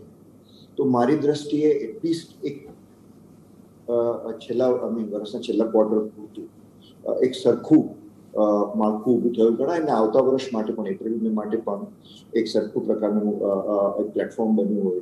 એ- એ મારી શ્રેષ્ઠ છે. માર્કેટ રિએક્ટ કરશે એને બંને રીતે હું સમજી શકું છું. પણ માર્કેટની જે રિએક્શન છે એ કદાચ ખાસ કરીને સિક્યુરિટી માર્કેટની જે રિએક્શન છે એ એક ટેમ્પરરી હોય છે. આઈ મીન પરિસ્થિતિની સાથે લિક્વિડિટીની સાથે પરિસ્થિતિ બદલાઈ જતી હોય છે. છેલ્લે કોર્પોરેટ પરફોર્મન્સ જો સ્ટ્રોંગ હશે તમે ઓલરેડી આંકડાઓ જોઈ શકો છો કોર્પોરેટ્સોના પ્રોત્સાહિત છે. મોટી અને મોટી કંપનીઓના વધારે સારા છે. મિડ સાઇઝ અને એસએમઈના અને એના આજે એટલા સારા નથી આંકડા એવા બીજા એક ક્વાર્ટર પછી આપણે પરિસ્થિતિ જોવી રહી ઓકે તો લાસ્ટલી વિરલ એક વખત આપનો પર્સપેક્ટિવ અહીંયા બેન્કિંગ કાઉન્ટર્સ ઉપર હવે અત્યારે પ્રોફિટ બુક કરવો કે નવી ખરીદદારી માટે પણ ધ્યાન રાખી શકાય? કાઉન્ટર્સમાં બે વસ્તુ છે. એક તો છે કે જે આમને જે આપણે અકોમોડેટિવ પોલિસી કીધી, તો એમાં પીએસયુ બેંકને વધારે ફાયદો થશે કમ્પેર્ડ ટુ અધર્સ એનું એનું રીઝન શું છે? કે જે બેંકની જે બુક હોય બેંક્સે પણ ગવર્મેન્ટના બોન્ડ લીધા હોય, એમાં બે ટાઈપ હોય. એક તો તમારી પાસે એએફએસ હોય, કે અવેલેબલ ફોર સેલ બુક હોય, ને બીજું કે held to maturity HTM book હોય. તો જે એએફએસ બુક છે, એમાં પીએસયુ બેંકને વધારે ફાયદો થશે. અને રિઝલ્ટ તો આપણે જોયા જ છે. તો તમે આમાં જે બેંક્સના કાઉન્ટરમાં પણ ધ્યાન રાખો, તો થોડું શું ફોકસ પીએસયુ બેંક તરફ રાખવાનું. ભલે એમાં વોલેટિલિટી વધારે હશે, પણ હજી પણ જે વેલ્યુએશન્સ છે, બધા વન ટાઈમ બુક ને કે એની આસપાસ છે ને મોસ્ટલી તો નીચે છે. હું તો સ્ટેટ બેંકની વાત કરું છું. હવે સ્ટેટ બેંક પણ જો તો આ આ ક્વાર્ટરનું રિઝલ્ટ જોતો એ લોકો ઓલરેડી પંદર ટકા આરઓઈની નજીક આવી ગયા છે. As good as a private sector bank એ લોકોનું જે ગ્રોથ છે ડિસ્પાઇટ બાવીસ, ત્રેવીસ ટકા માર્કેટ છે. એ લોકોનું જે ગ્રોથ છે એટલીસ્ટ સિસ્ટમ લેવલ ગ્રોથથી વધારે જ હોય છે. તો મે બી પીએસયુ બેંક્સ તરફ ધ્યાન રાખી શકાય. તમારો સ્પેસિફિક ક્વેશ્ચન છે કે હમણાં પ્રોફિટ બુક કરવાનું કે ઇન્વેસ્ટેડ રહેવાનું? તો તમારો મીડિયમ ટર્મ વ્યૂ હોય, છ, નવ મહિનાનો એટલીસ્ટ તો તમે ઇન્વેસ્ટેડ રહ્યો. ઓકે તો એ સાથે જ વિરલ, અશ્વિનજી, લક્ષ્મીજી અને અભિઝરજી આપ સૌનો ઘણો આભાર. અહીંયા સમય ફાળી અમારી સાથે આ મહત્વની ચર્ચામાં જોડાયા અને માર્કેટના આઉટલુક એઝ વેલ એઝ અહીંયા આપણે આરબીઆઈની પોલિસી ઉપરથી શું મહત્વના ટેકઅવેઝ લેવા જોઈએ એના અંગેની વિગતો આપી. વન્સ અગેન ઘણો આભાર આપ સૌનો. તો એ સાથે જ ક્રેડિટ પોલિસીની આ ખાસ રજૂઆતમાં અત્યારે મને પણ આપજો રજા. આગળ અપડેટ માટે આપ જોડાયેલા રહો. સીએનબીસી બજાર સાથે. નમસ્કાર.